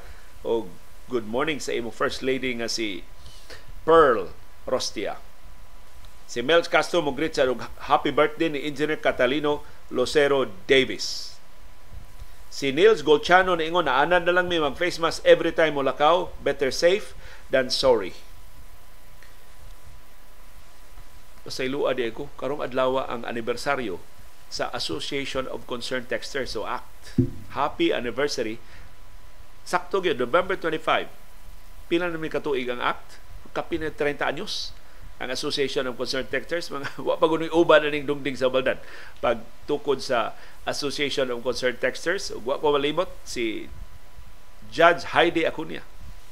Murag law student pa man wa pa ganito mag tuon telig abogasiya si uh, Judge Heidi Acuña nitong higyon siya mo is first secretary. Siya ay nag-take sa minutes sa first ever meeting sa Association of Concerned Texters. So happy anniversary sa Association of Concerned uh, texters mga ko pasaylo di ko katambong sa atong kalihukan karong adlaw kay do na mi kabilinggan ni Dr. Iris do na mi importanteng gibuhaton karong weekend so uh, mga ko pasaylo nilang Ma'am Clotty, ni Ma'am Agnes, ni Ma'am Jenny, uh, Ricarte, ni Ma'am Juji, o kaubanan sa Association of Concerned Texters nga ang ako ra huna-huna mo makauban ninyo karong adlaw kay di ko kabiya diri sa among uh, Pinoy anan pero happy anniversary ug daghang salamat Association of Concerned Texters nga wa gyud ma paong ang inyong kadasig sa pagserbisyo sa labing nagkinahanglan sa atong katawhan.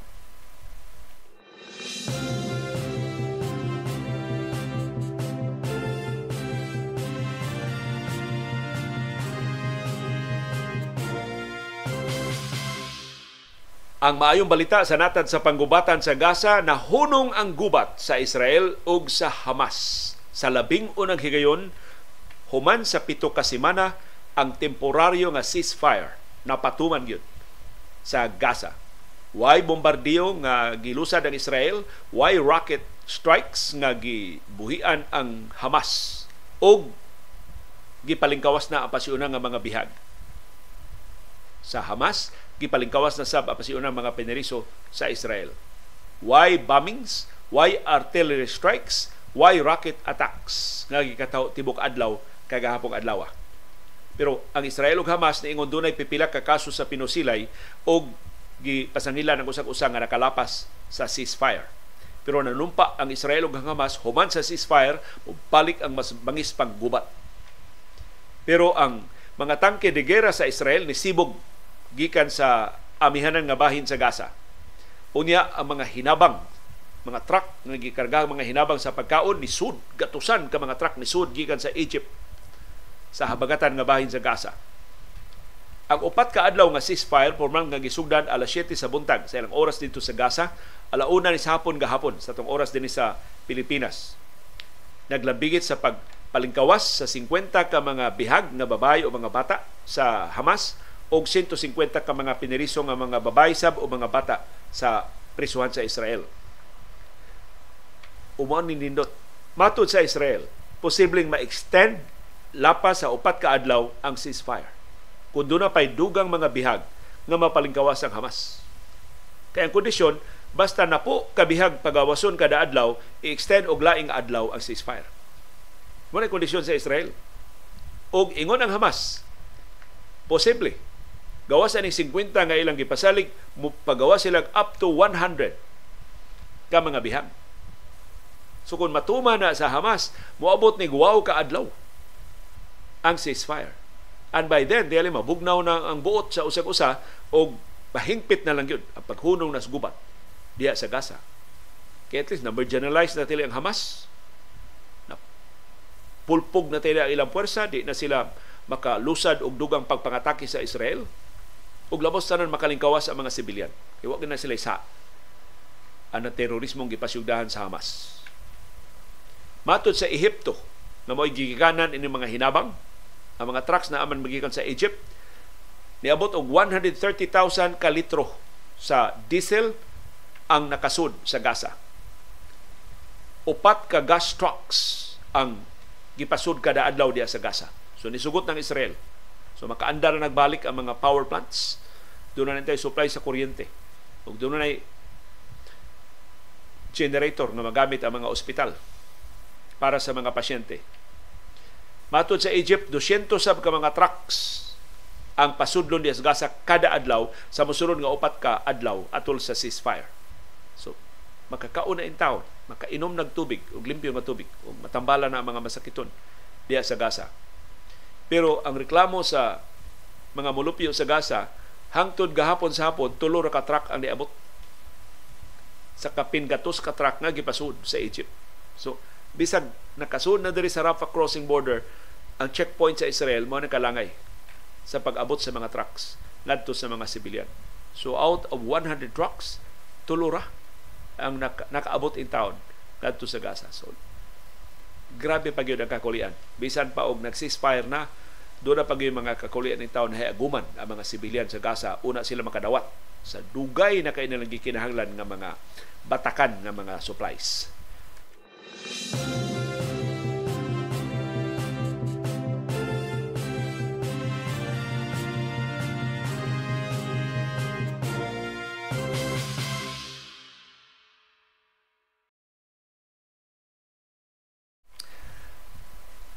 Kalambuan gihapon sa Gaza 39 ka mga pineriso 39 prisoners ang girilis sa Israel sa ilang mga prisuhan. So ang Israel mo ni una og pagawas sa mga pineriso bugti sa 24 ka mga hostages nga gibuhian sa Hamas. Gitunol ngadto sa Israel. 28 ka mga pineriso ang girilis sa giokupahan nga West Bank samtang 11 ang girilis sa East Jerusalem. Ang mga Palestinian prisoners sud gipasakay o mga bases gihangop og daghan kaayong mga molupyo. Sus. Nalipay kayo ang mga Palestinians gipagawas ang ilang mga piniriso. Nagsige sila og tuaw og God is great sa ilang pag hangop sa mga piniriso. Nagpabutos sa sila og mga firecrackers. wa, kuyawin ng mga Palestinians. Pagpabuto gyud og firecrackers, masaypad pa lang na sa Israel mo rin ginangtan. Perting hayaga kuno sa tibok palibot pagpalingkawas na sa mga piniriso. Ang mga piniriso gipalingkawas tungod sa ceasefire agreement uban sa Hamas. Ang Hamas nirelisab og 24 ka mga babay o mga bata na ilang na sakmit ilang nabihag sa pag-atake nila sa Israel atong Oktubre 7 ang kapulisan sa Israel niluwat og kamanduan nga nagdili sa selebrasyon sa Jerusalem para sa girilis nga mga piniriso. Yawa man pato ang mga Palestinians nagsaulog man gyud, ah, gitirgas. gitirgas ang mga Palestinians aron mabungkag ug dili magkatapok. Di na gyud mo ang Israel. Tingali og moapil sa tapok ang Hamas, magkaguliyang na sab, magkadugo na sab. So ning hasta ang selebrasyon sa paghangop sa mga piniriso gi bantayan higpitan sa Israel. Og ang mga piniriso bisag nakauli na silang kabalayan gikuyugan og mga polis aron dili masunod sa mga silingan, dili maka-entertain o mga bisita. So higpit ang pagdili sa Israel kay timan ni occupied territory kining West Bank. Mga Palestinians ang naadiha pero ang Israel mo ay nagbuot kinsay makasun makagawas sa West Bank. Hingpit ang ilang pag-okupar human nila nakuha atul sa gubat. Diha sa tunga-tungang sidlakan.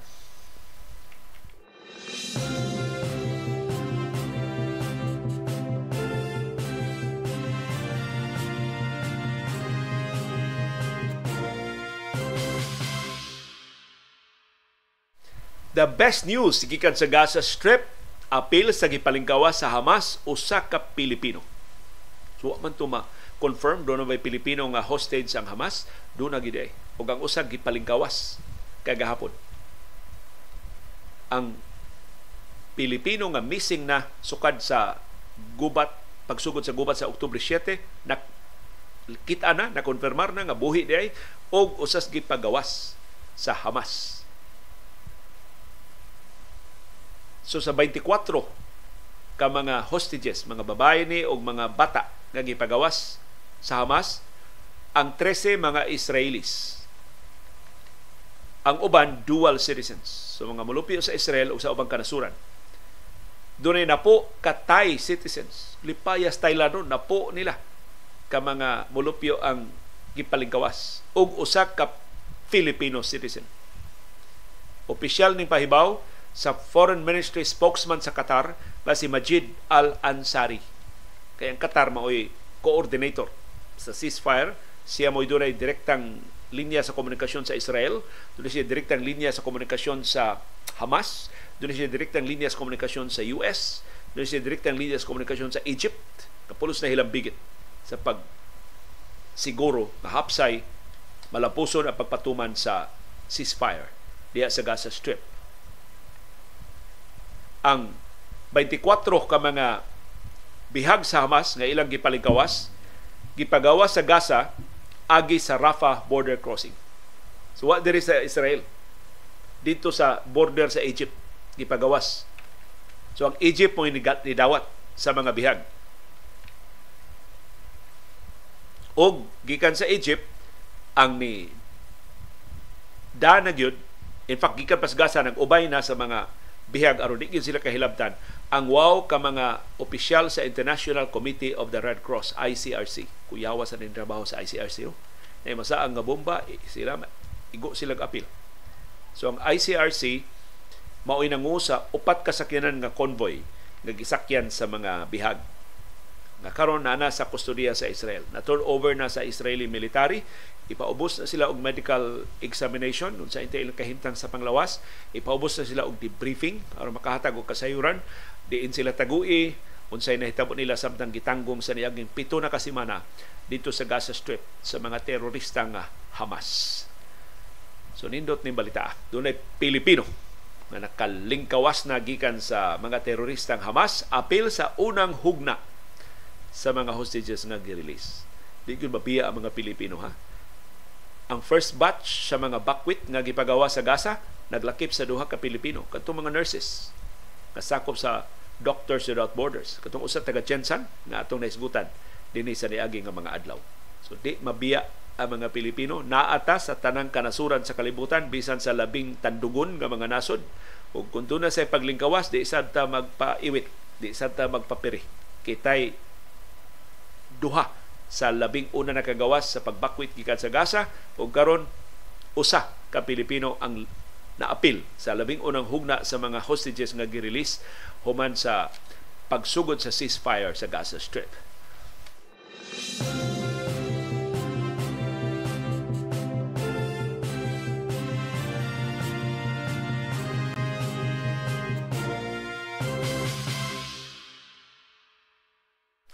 Og update sa mga duwa sa Philippine Basketball Association ito resulta sa duwa ka duwa sa PBA Commissioners Cup kagahapon si Maverick Ahanmisi mo nangu sa Barangay Hinebra sa pagpildi sa Rain or Shine. Ang iyang three-point shot mo nakapadaog sa Hinebra batok sa Rain or Shine 107-102.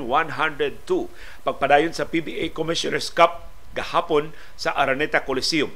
Si Ahan Misi nakapasud sa iyang dagger 3 54 seconds ang nahibilin sa duwa. Ug iyang nasagang ang kainit sa magdudua sa Elasto Painters nga si Andre Karakot nga dunay 32 points. Actually, dako na kay Glabaw ang Hinebra pero ni apas ang rain or shine tungod sa 32-point explosion ni Karakot. Si Ahan Misi nitiwas sa duwa with 21 points, 12 rebounds ug siyam ka assists gipanguluhan ang kadaugan sa Hinebra sa ilang import nga si Tony Bishop nga dunay 25 points. Si Christian Hardinger Stan Hardinger nitampo og 19 points. Ug si Japith Aguilar nitampo og 13 points para sa Hinebra. Pero para ni head coach Tim Cohn kadtong dagger 3 ni Ahan Misi mo ang shot of the game. Samtang ang Phoenix Suns si daog batok sa Blackwater sa duwa sa PBA Commissioners Cup gahapon. 111 ang Phoenix 106 ang Blackwater.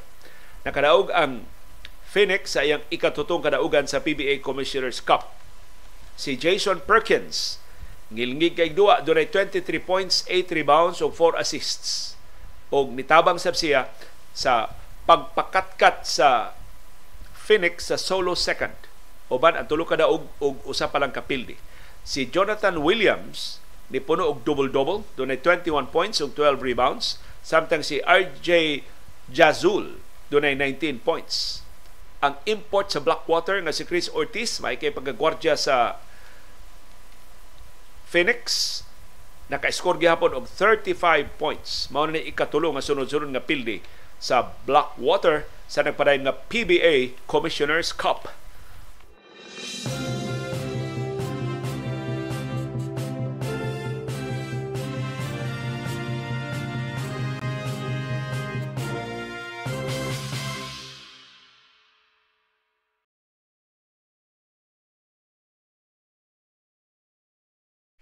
Og ni ang mga duwa, schedule sa mga duwa sa National Basketball Association liwas sa Thanksgiving sa Estados Unidos partida ganan duwa alas 3:30 ganin ang kadlawon ang Boston Celtics na nung sa Orlando Magic. Kung ato tan-awon kon uh, unsay resulta kay nahuman man duwa ni ang Orlando Magic. Batok sa gilgigas Orlando Magic ha?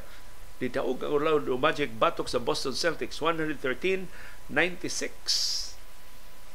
ngilngig ang duwa sa Orlando Magic batok sa Boston Celtics Alas 6, gani na butag ang Phoenix Suns na noong sa Memphis Grizzlies ug nagpadayon na ang duwa atong lion.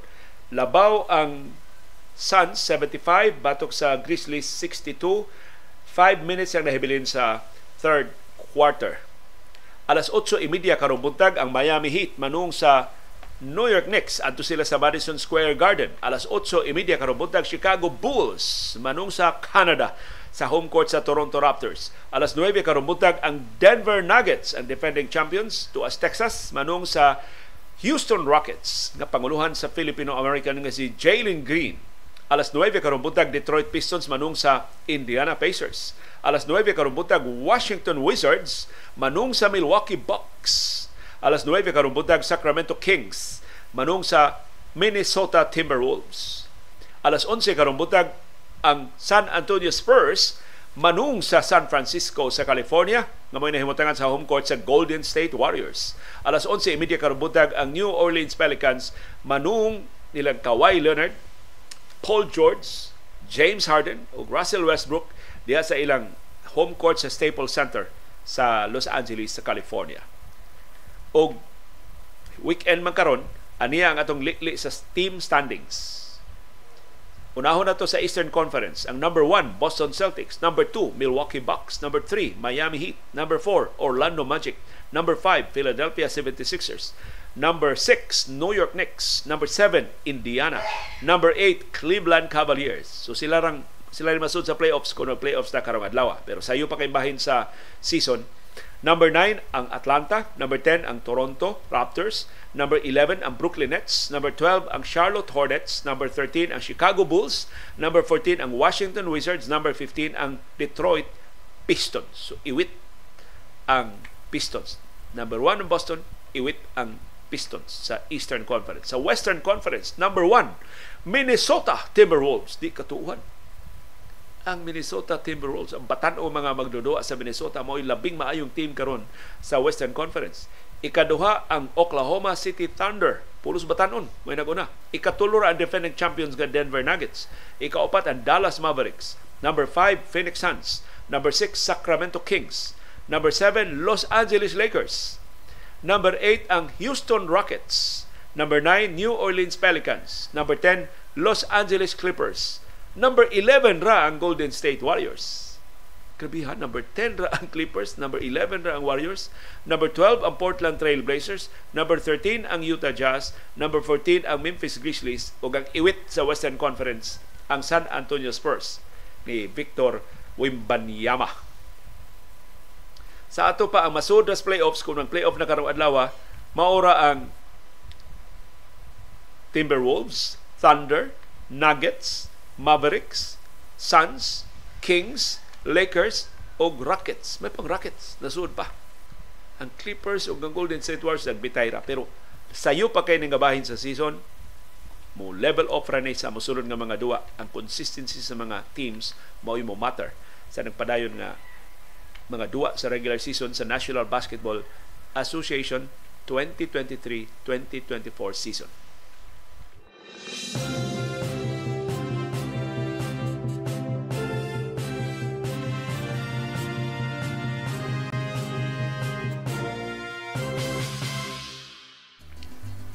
Daghang salamat sa aktibo nga pag-apil o pagsuporta sa atong mga programa. Ani ang atong viewers views, ang atong mga viewers on demand. Wa kabot sa atong live streaming mo atong hatagan og highlight sa atong viewers views karong buntaga. Si Beckham Cachero na ingon, if you try to observe closely the body language ni BBM o ni Sara, every time ang question is about their relationship, maklaro jud nga naa sila mga gitaguan nga distaste against each other kung naa sila mga gipangbuhat para makabintaha sa usag-usa.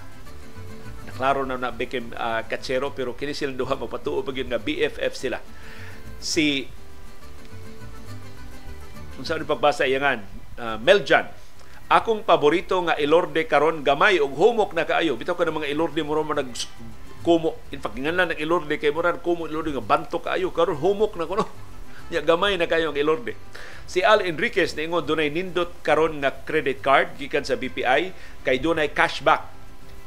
Sus patudlo tayo ni Al Enriquez unsaon ni kung kamaok ka lang mo disiplina sa imong paggasto pinagi sa credit card baka ginansya ka gyud imbis makabayad og interes.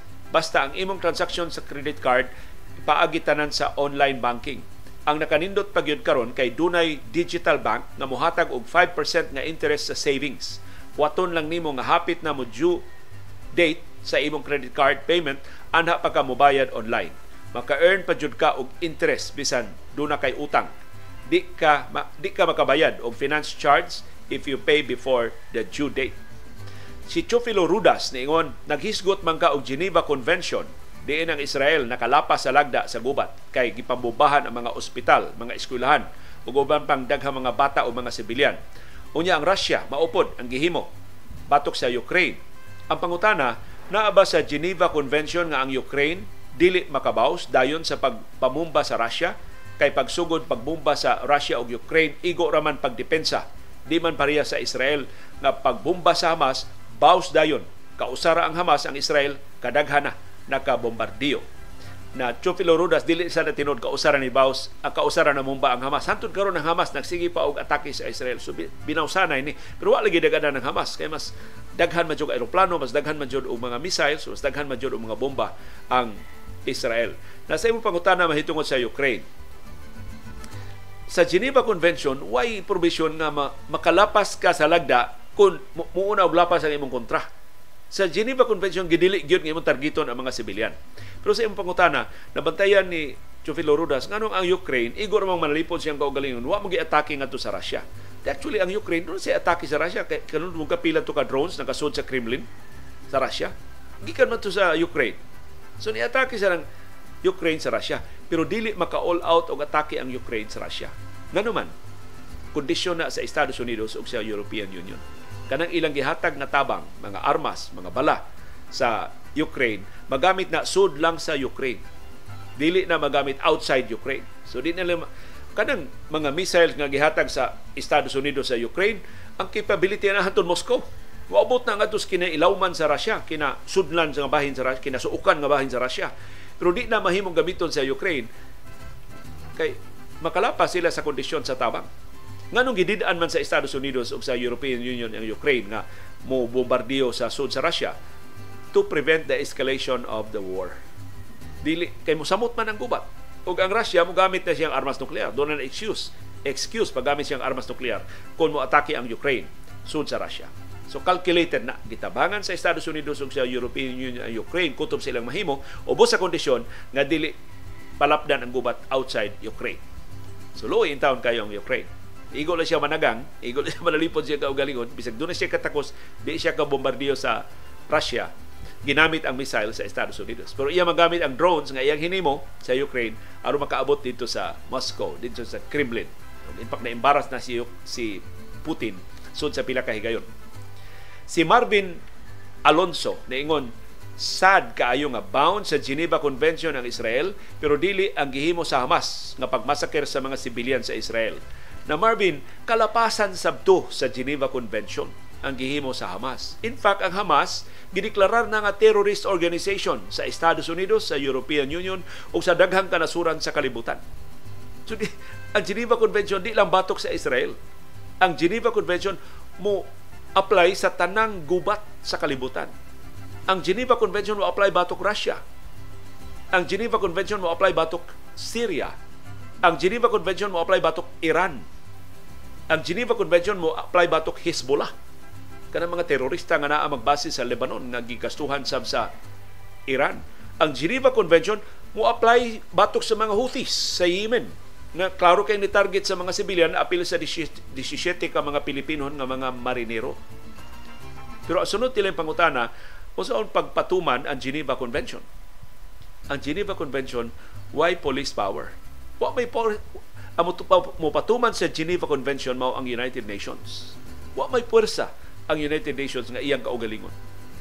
na ay mga UN peacekeeping troops pero kana mga sundao na gikan sa nakalilaing kanasuran nga gitampo ngadto sa United Nations. Ang UN mo inagda pero mga sundao na sa US, mga sundao na sa Britanya, mga sundao na sa Canada usay mo padagan ito mga sundao sa Pilipinas, mga pulis o mga sundao sa Pilipinas para sa mga US peacekeeping missions. Mao na kabahin sa magpatuman sa Geneva Convention pag-ensure sa safety sa mga sibilyan atol sa gubat Kay bisan gubat na, doon na may lagda na tumanon. So dili na tinuod nga ang Israel ra mo ay gipasangila nakalapas sa Geneva Convention.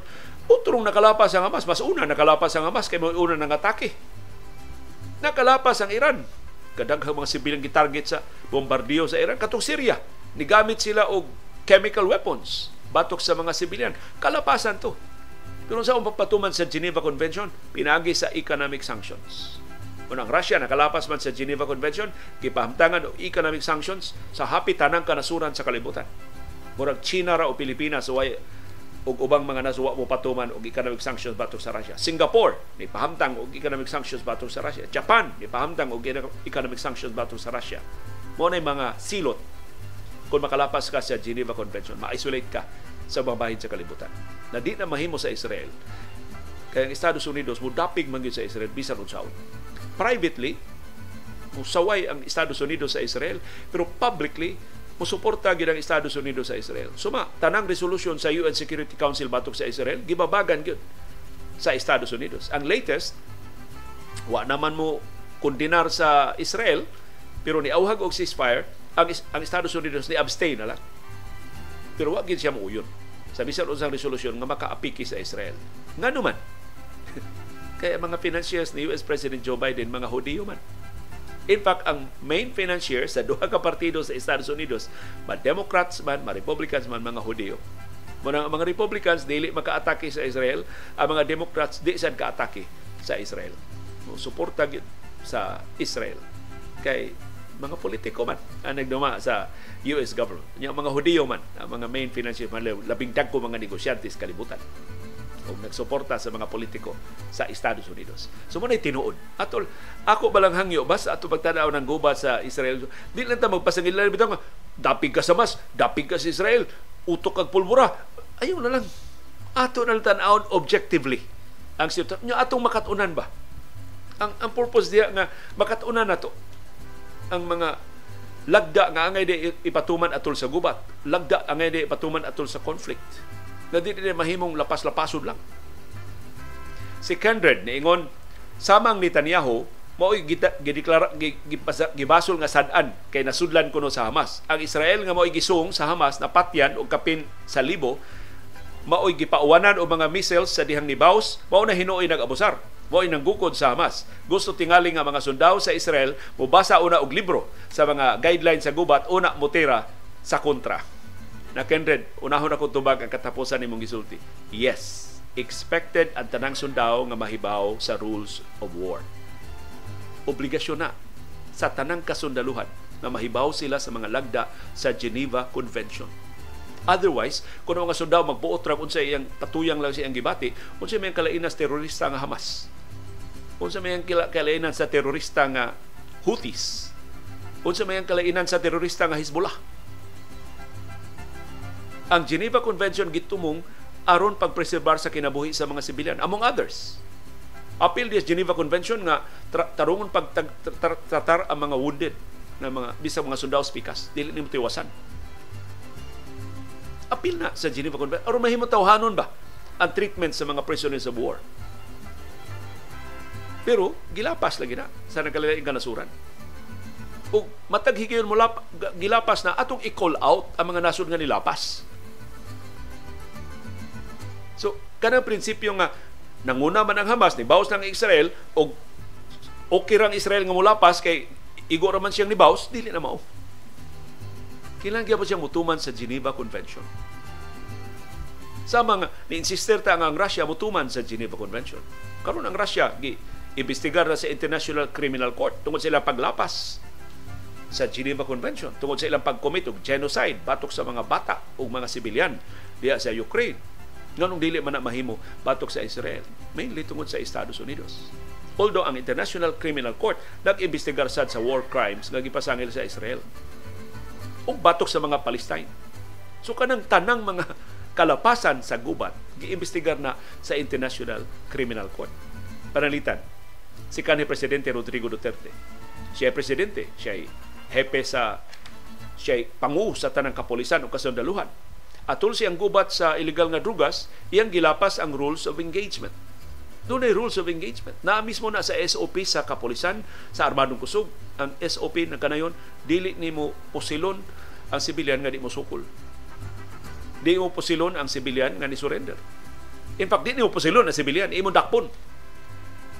Pero sa rules of engagement, why kaso, why pasangil, why ganit ebidensya, giposil. 30 mil ang giposil ni Duterte sa gubat batok sa illegal nga drugas. Kalapasan sa rules of engagement kinsay mo patuman sa rules of engagement. Wa. Kay siya man mo hepe. Pero na ay ahensya nga ni sita niya ang International Criminal Court. Mo nang dunay kaso karon si Duterte sa ICC tungod sa failure sa atong gobyerno pagpatuman sa atong mga lagda. Ug mausab na. Moabot rang higayon, imbestigahon sa na sa International Criminal Court ang Israel. Di lang madutlan ng Israel kay di man isurrender sa Israel ang ilang mga war criminals sa mga wa surrender sa Estados Unidos ang iyang mga sundao nga gipasangilang nakahimong war crimes dito sa Afghanistan. Sa mga wa surrender sa Iran ang ilang mga terorista nga namumbang mga eroplano sa nangaging katuigan na dunay mga kaso pending diha sa International Criminal Court. Pero lisod ipatuman ang mga balaod batok sa mga nasod pero naay mga balaod nga gipatuman. Og in fact, nakachamba gyud ang International Criminal Court sa pipila ka mga kaso. Nasilutan gyud ang mga kriminal na nakahimo og mga kalapasan. Narita sa laing punto ni Kaded nga si Netanyahu kuno imbis maoy giilad sa Hamas kay si Netanyahu may namisled nga ang Hamas dili na mo atake mo hinoy gipasangilan karon. Uh, Kendred murag mas bilib kang Netanyahu kaysa mga Israelis. The Israelis themselves have rejected Netanyahu. Ang popularity rating ni Netanyahu nitugsan na to 20%. Duha na lang sa kada po kay Israelis ang nitahod ang ni ila sa liderato ni Netanyahu. Netanyahu is a finished business. Ikaw man ining gubat sa Hamas, taktak na si Netanyahu. Di lang siya mataktak karon kay gubat pa man. Napas tunga sa gubat sa Hamas. Pero taktak na nas Netanyahu. Ikaw man ining gubata. Pero in fairness ni Netanyahu, nahibaw si Netanyahu sayop ng iyang gibuhat. Politiko ba yan ni Netanyahu? Bright ba yan ni Netanyahu?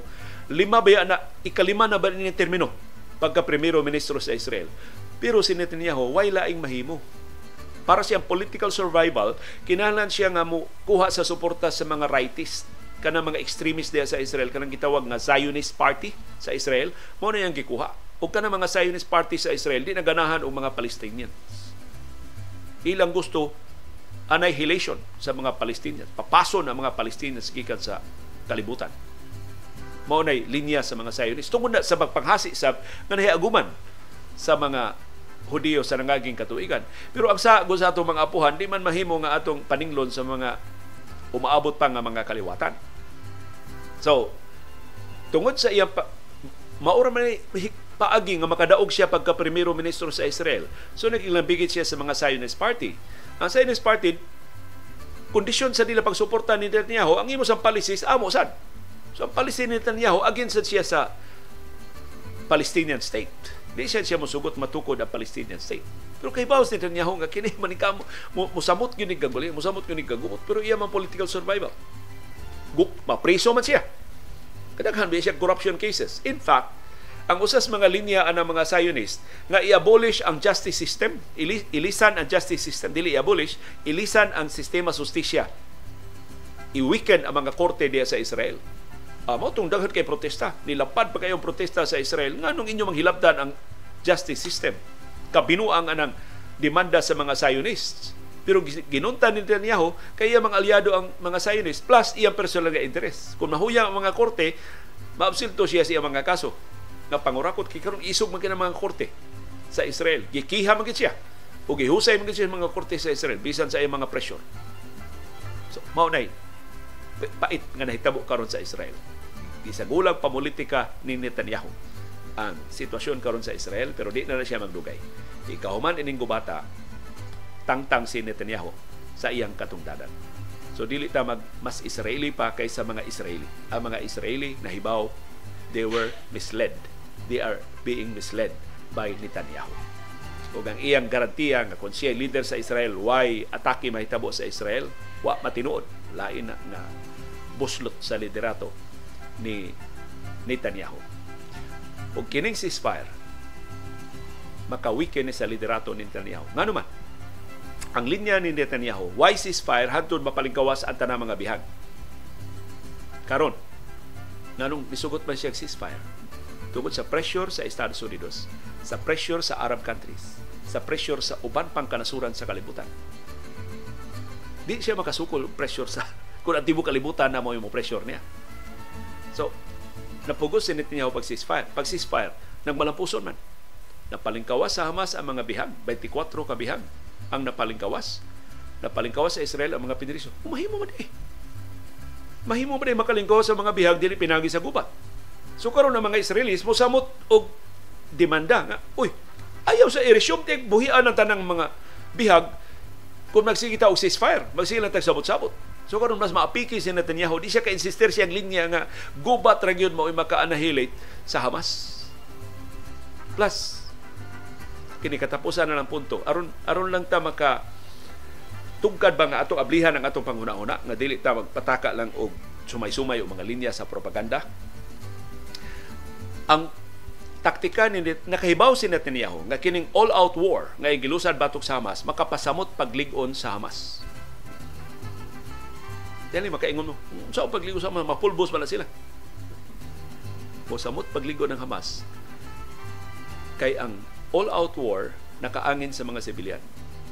Sakto to si Elon Musk sa Twitter, sa, sa X, kining labing dato karon taos kalibutan siya pangingon kada Palestinian child nga mamatay sa bombardiyo sa Israel would create a few Hamas. Unsa ba tios mga igsuon? Unsa ba tios amahan atong bata nga namatay? Wa to sa tumata. Yang ang amahan posible dili sakop sa Hamas, dili gali sympathizer sa Hamas, negosyante lang diya sa Gaza.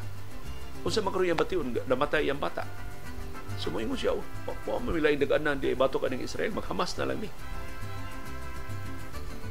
Kung di ta katugad ana, atong ibutang sa atong kawaling ehemplo dinhi sa Subo. Before Lito Osmeña became governor sa Subo, kanang Gasa, dili Gasa, Gaas. Subay-subay Gasa no. Kanang Gaas Balamban, mo na teritoryo sa mga rebelding komunista pati paggaas NPA dias Gaas Balamban. Ug ang nagsulti nako ana ang among father president sa University of San Jose Recoleto si Father Rafael Cabarles. Kay katus Father Cabarles natukod man na silang campus sa Balamban ang ilang usas mga advocacy adto pagpabalik sa kalinaw diha sa Balamban, labi na sa Gaas. So magmisa diha si Father Cabarles sa Gaas, taliwadan siya duha ka army nga naay Armalite. Aron di siya hilabtan sa mga NPA. Inana kadaghan ang NPA diha sa Gaas sa Balamban kung gi all out war pa ang gaas, pulbos ang gaas, patag ang gaas, patay ang tanang sibilyan or at least maapil o kamatay ang mga sibilyan diya sa gaas. Kung sige buhat ni kanil Gobernador Lito Osmeña, imbis makigubat sa mga NPA sa gaas, Balamban, iyang gitukuran og Trans Central Highway. Pagkahuman Trans Central Highway sa nagsumpay sa Balamban o sa Cebu City, ang gaas mo'y labing dako nga beneficiary. Tanawar ko ng gaas ron, daghan na kay mga tourist destinations sa gas, daghan na kay mga kananan, daghan na kay mga hotels, daghan na kay mga pension houses, daghan na kay mga resorts, mountain resorts. Diya sa gaas Balamban. So kung ang gibuhat ni Lito Osmeña all out war pa, ang gaas karon nagkamang pa sa grabing kalisod. Unya, mudaghan pag yung NPA kaya nangamatay nga mga sibilan. mag-NPA naman sa tong mga printe nganong gi laktod og giapil og patay ang mga sibilan wa sila labot sa NPA karon hastang NPA wa na nahipos na. Ni apil lang negosyo na nahimo ng tour guide. Dias Balamban sa Gaas Balamban.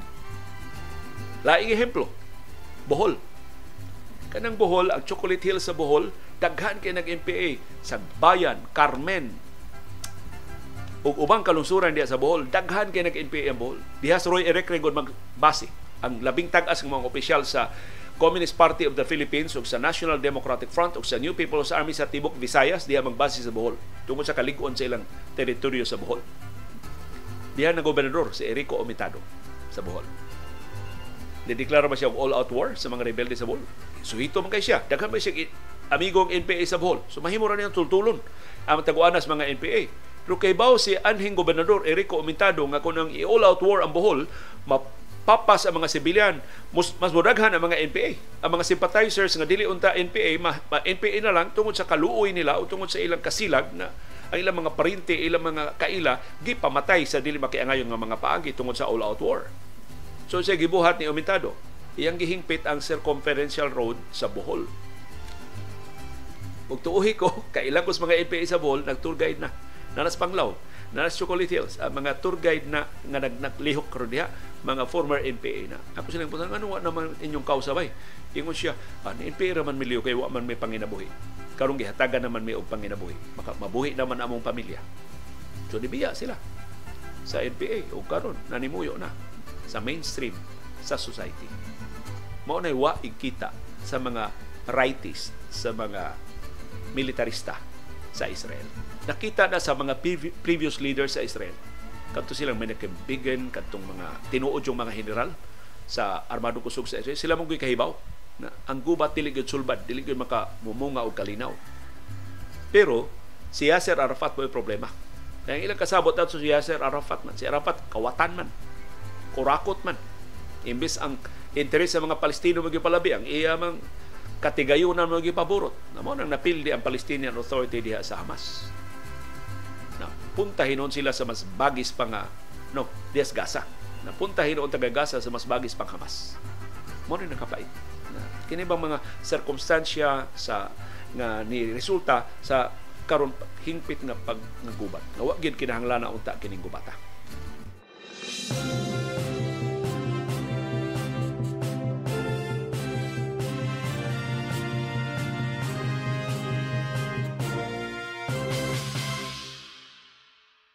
O ganito itong Viewers Views Part 2.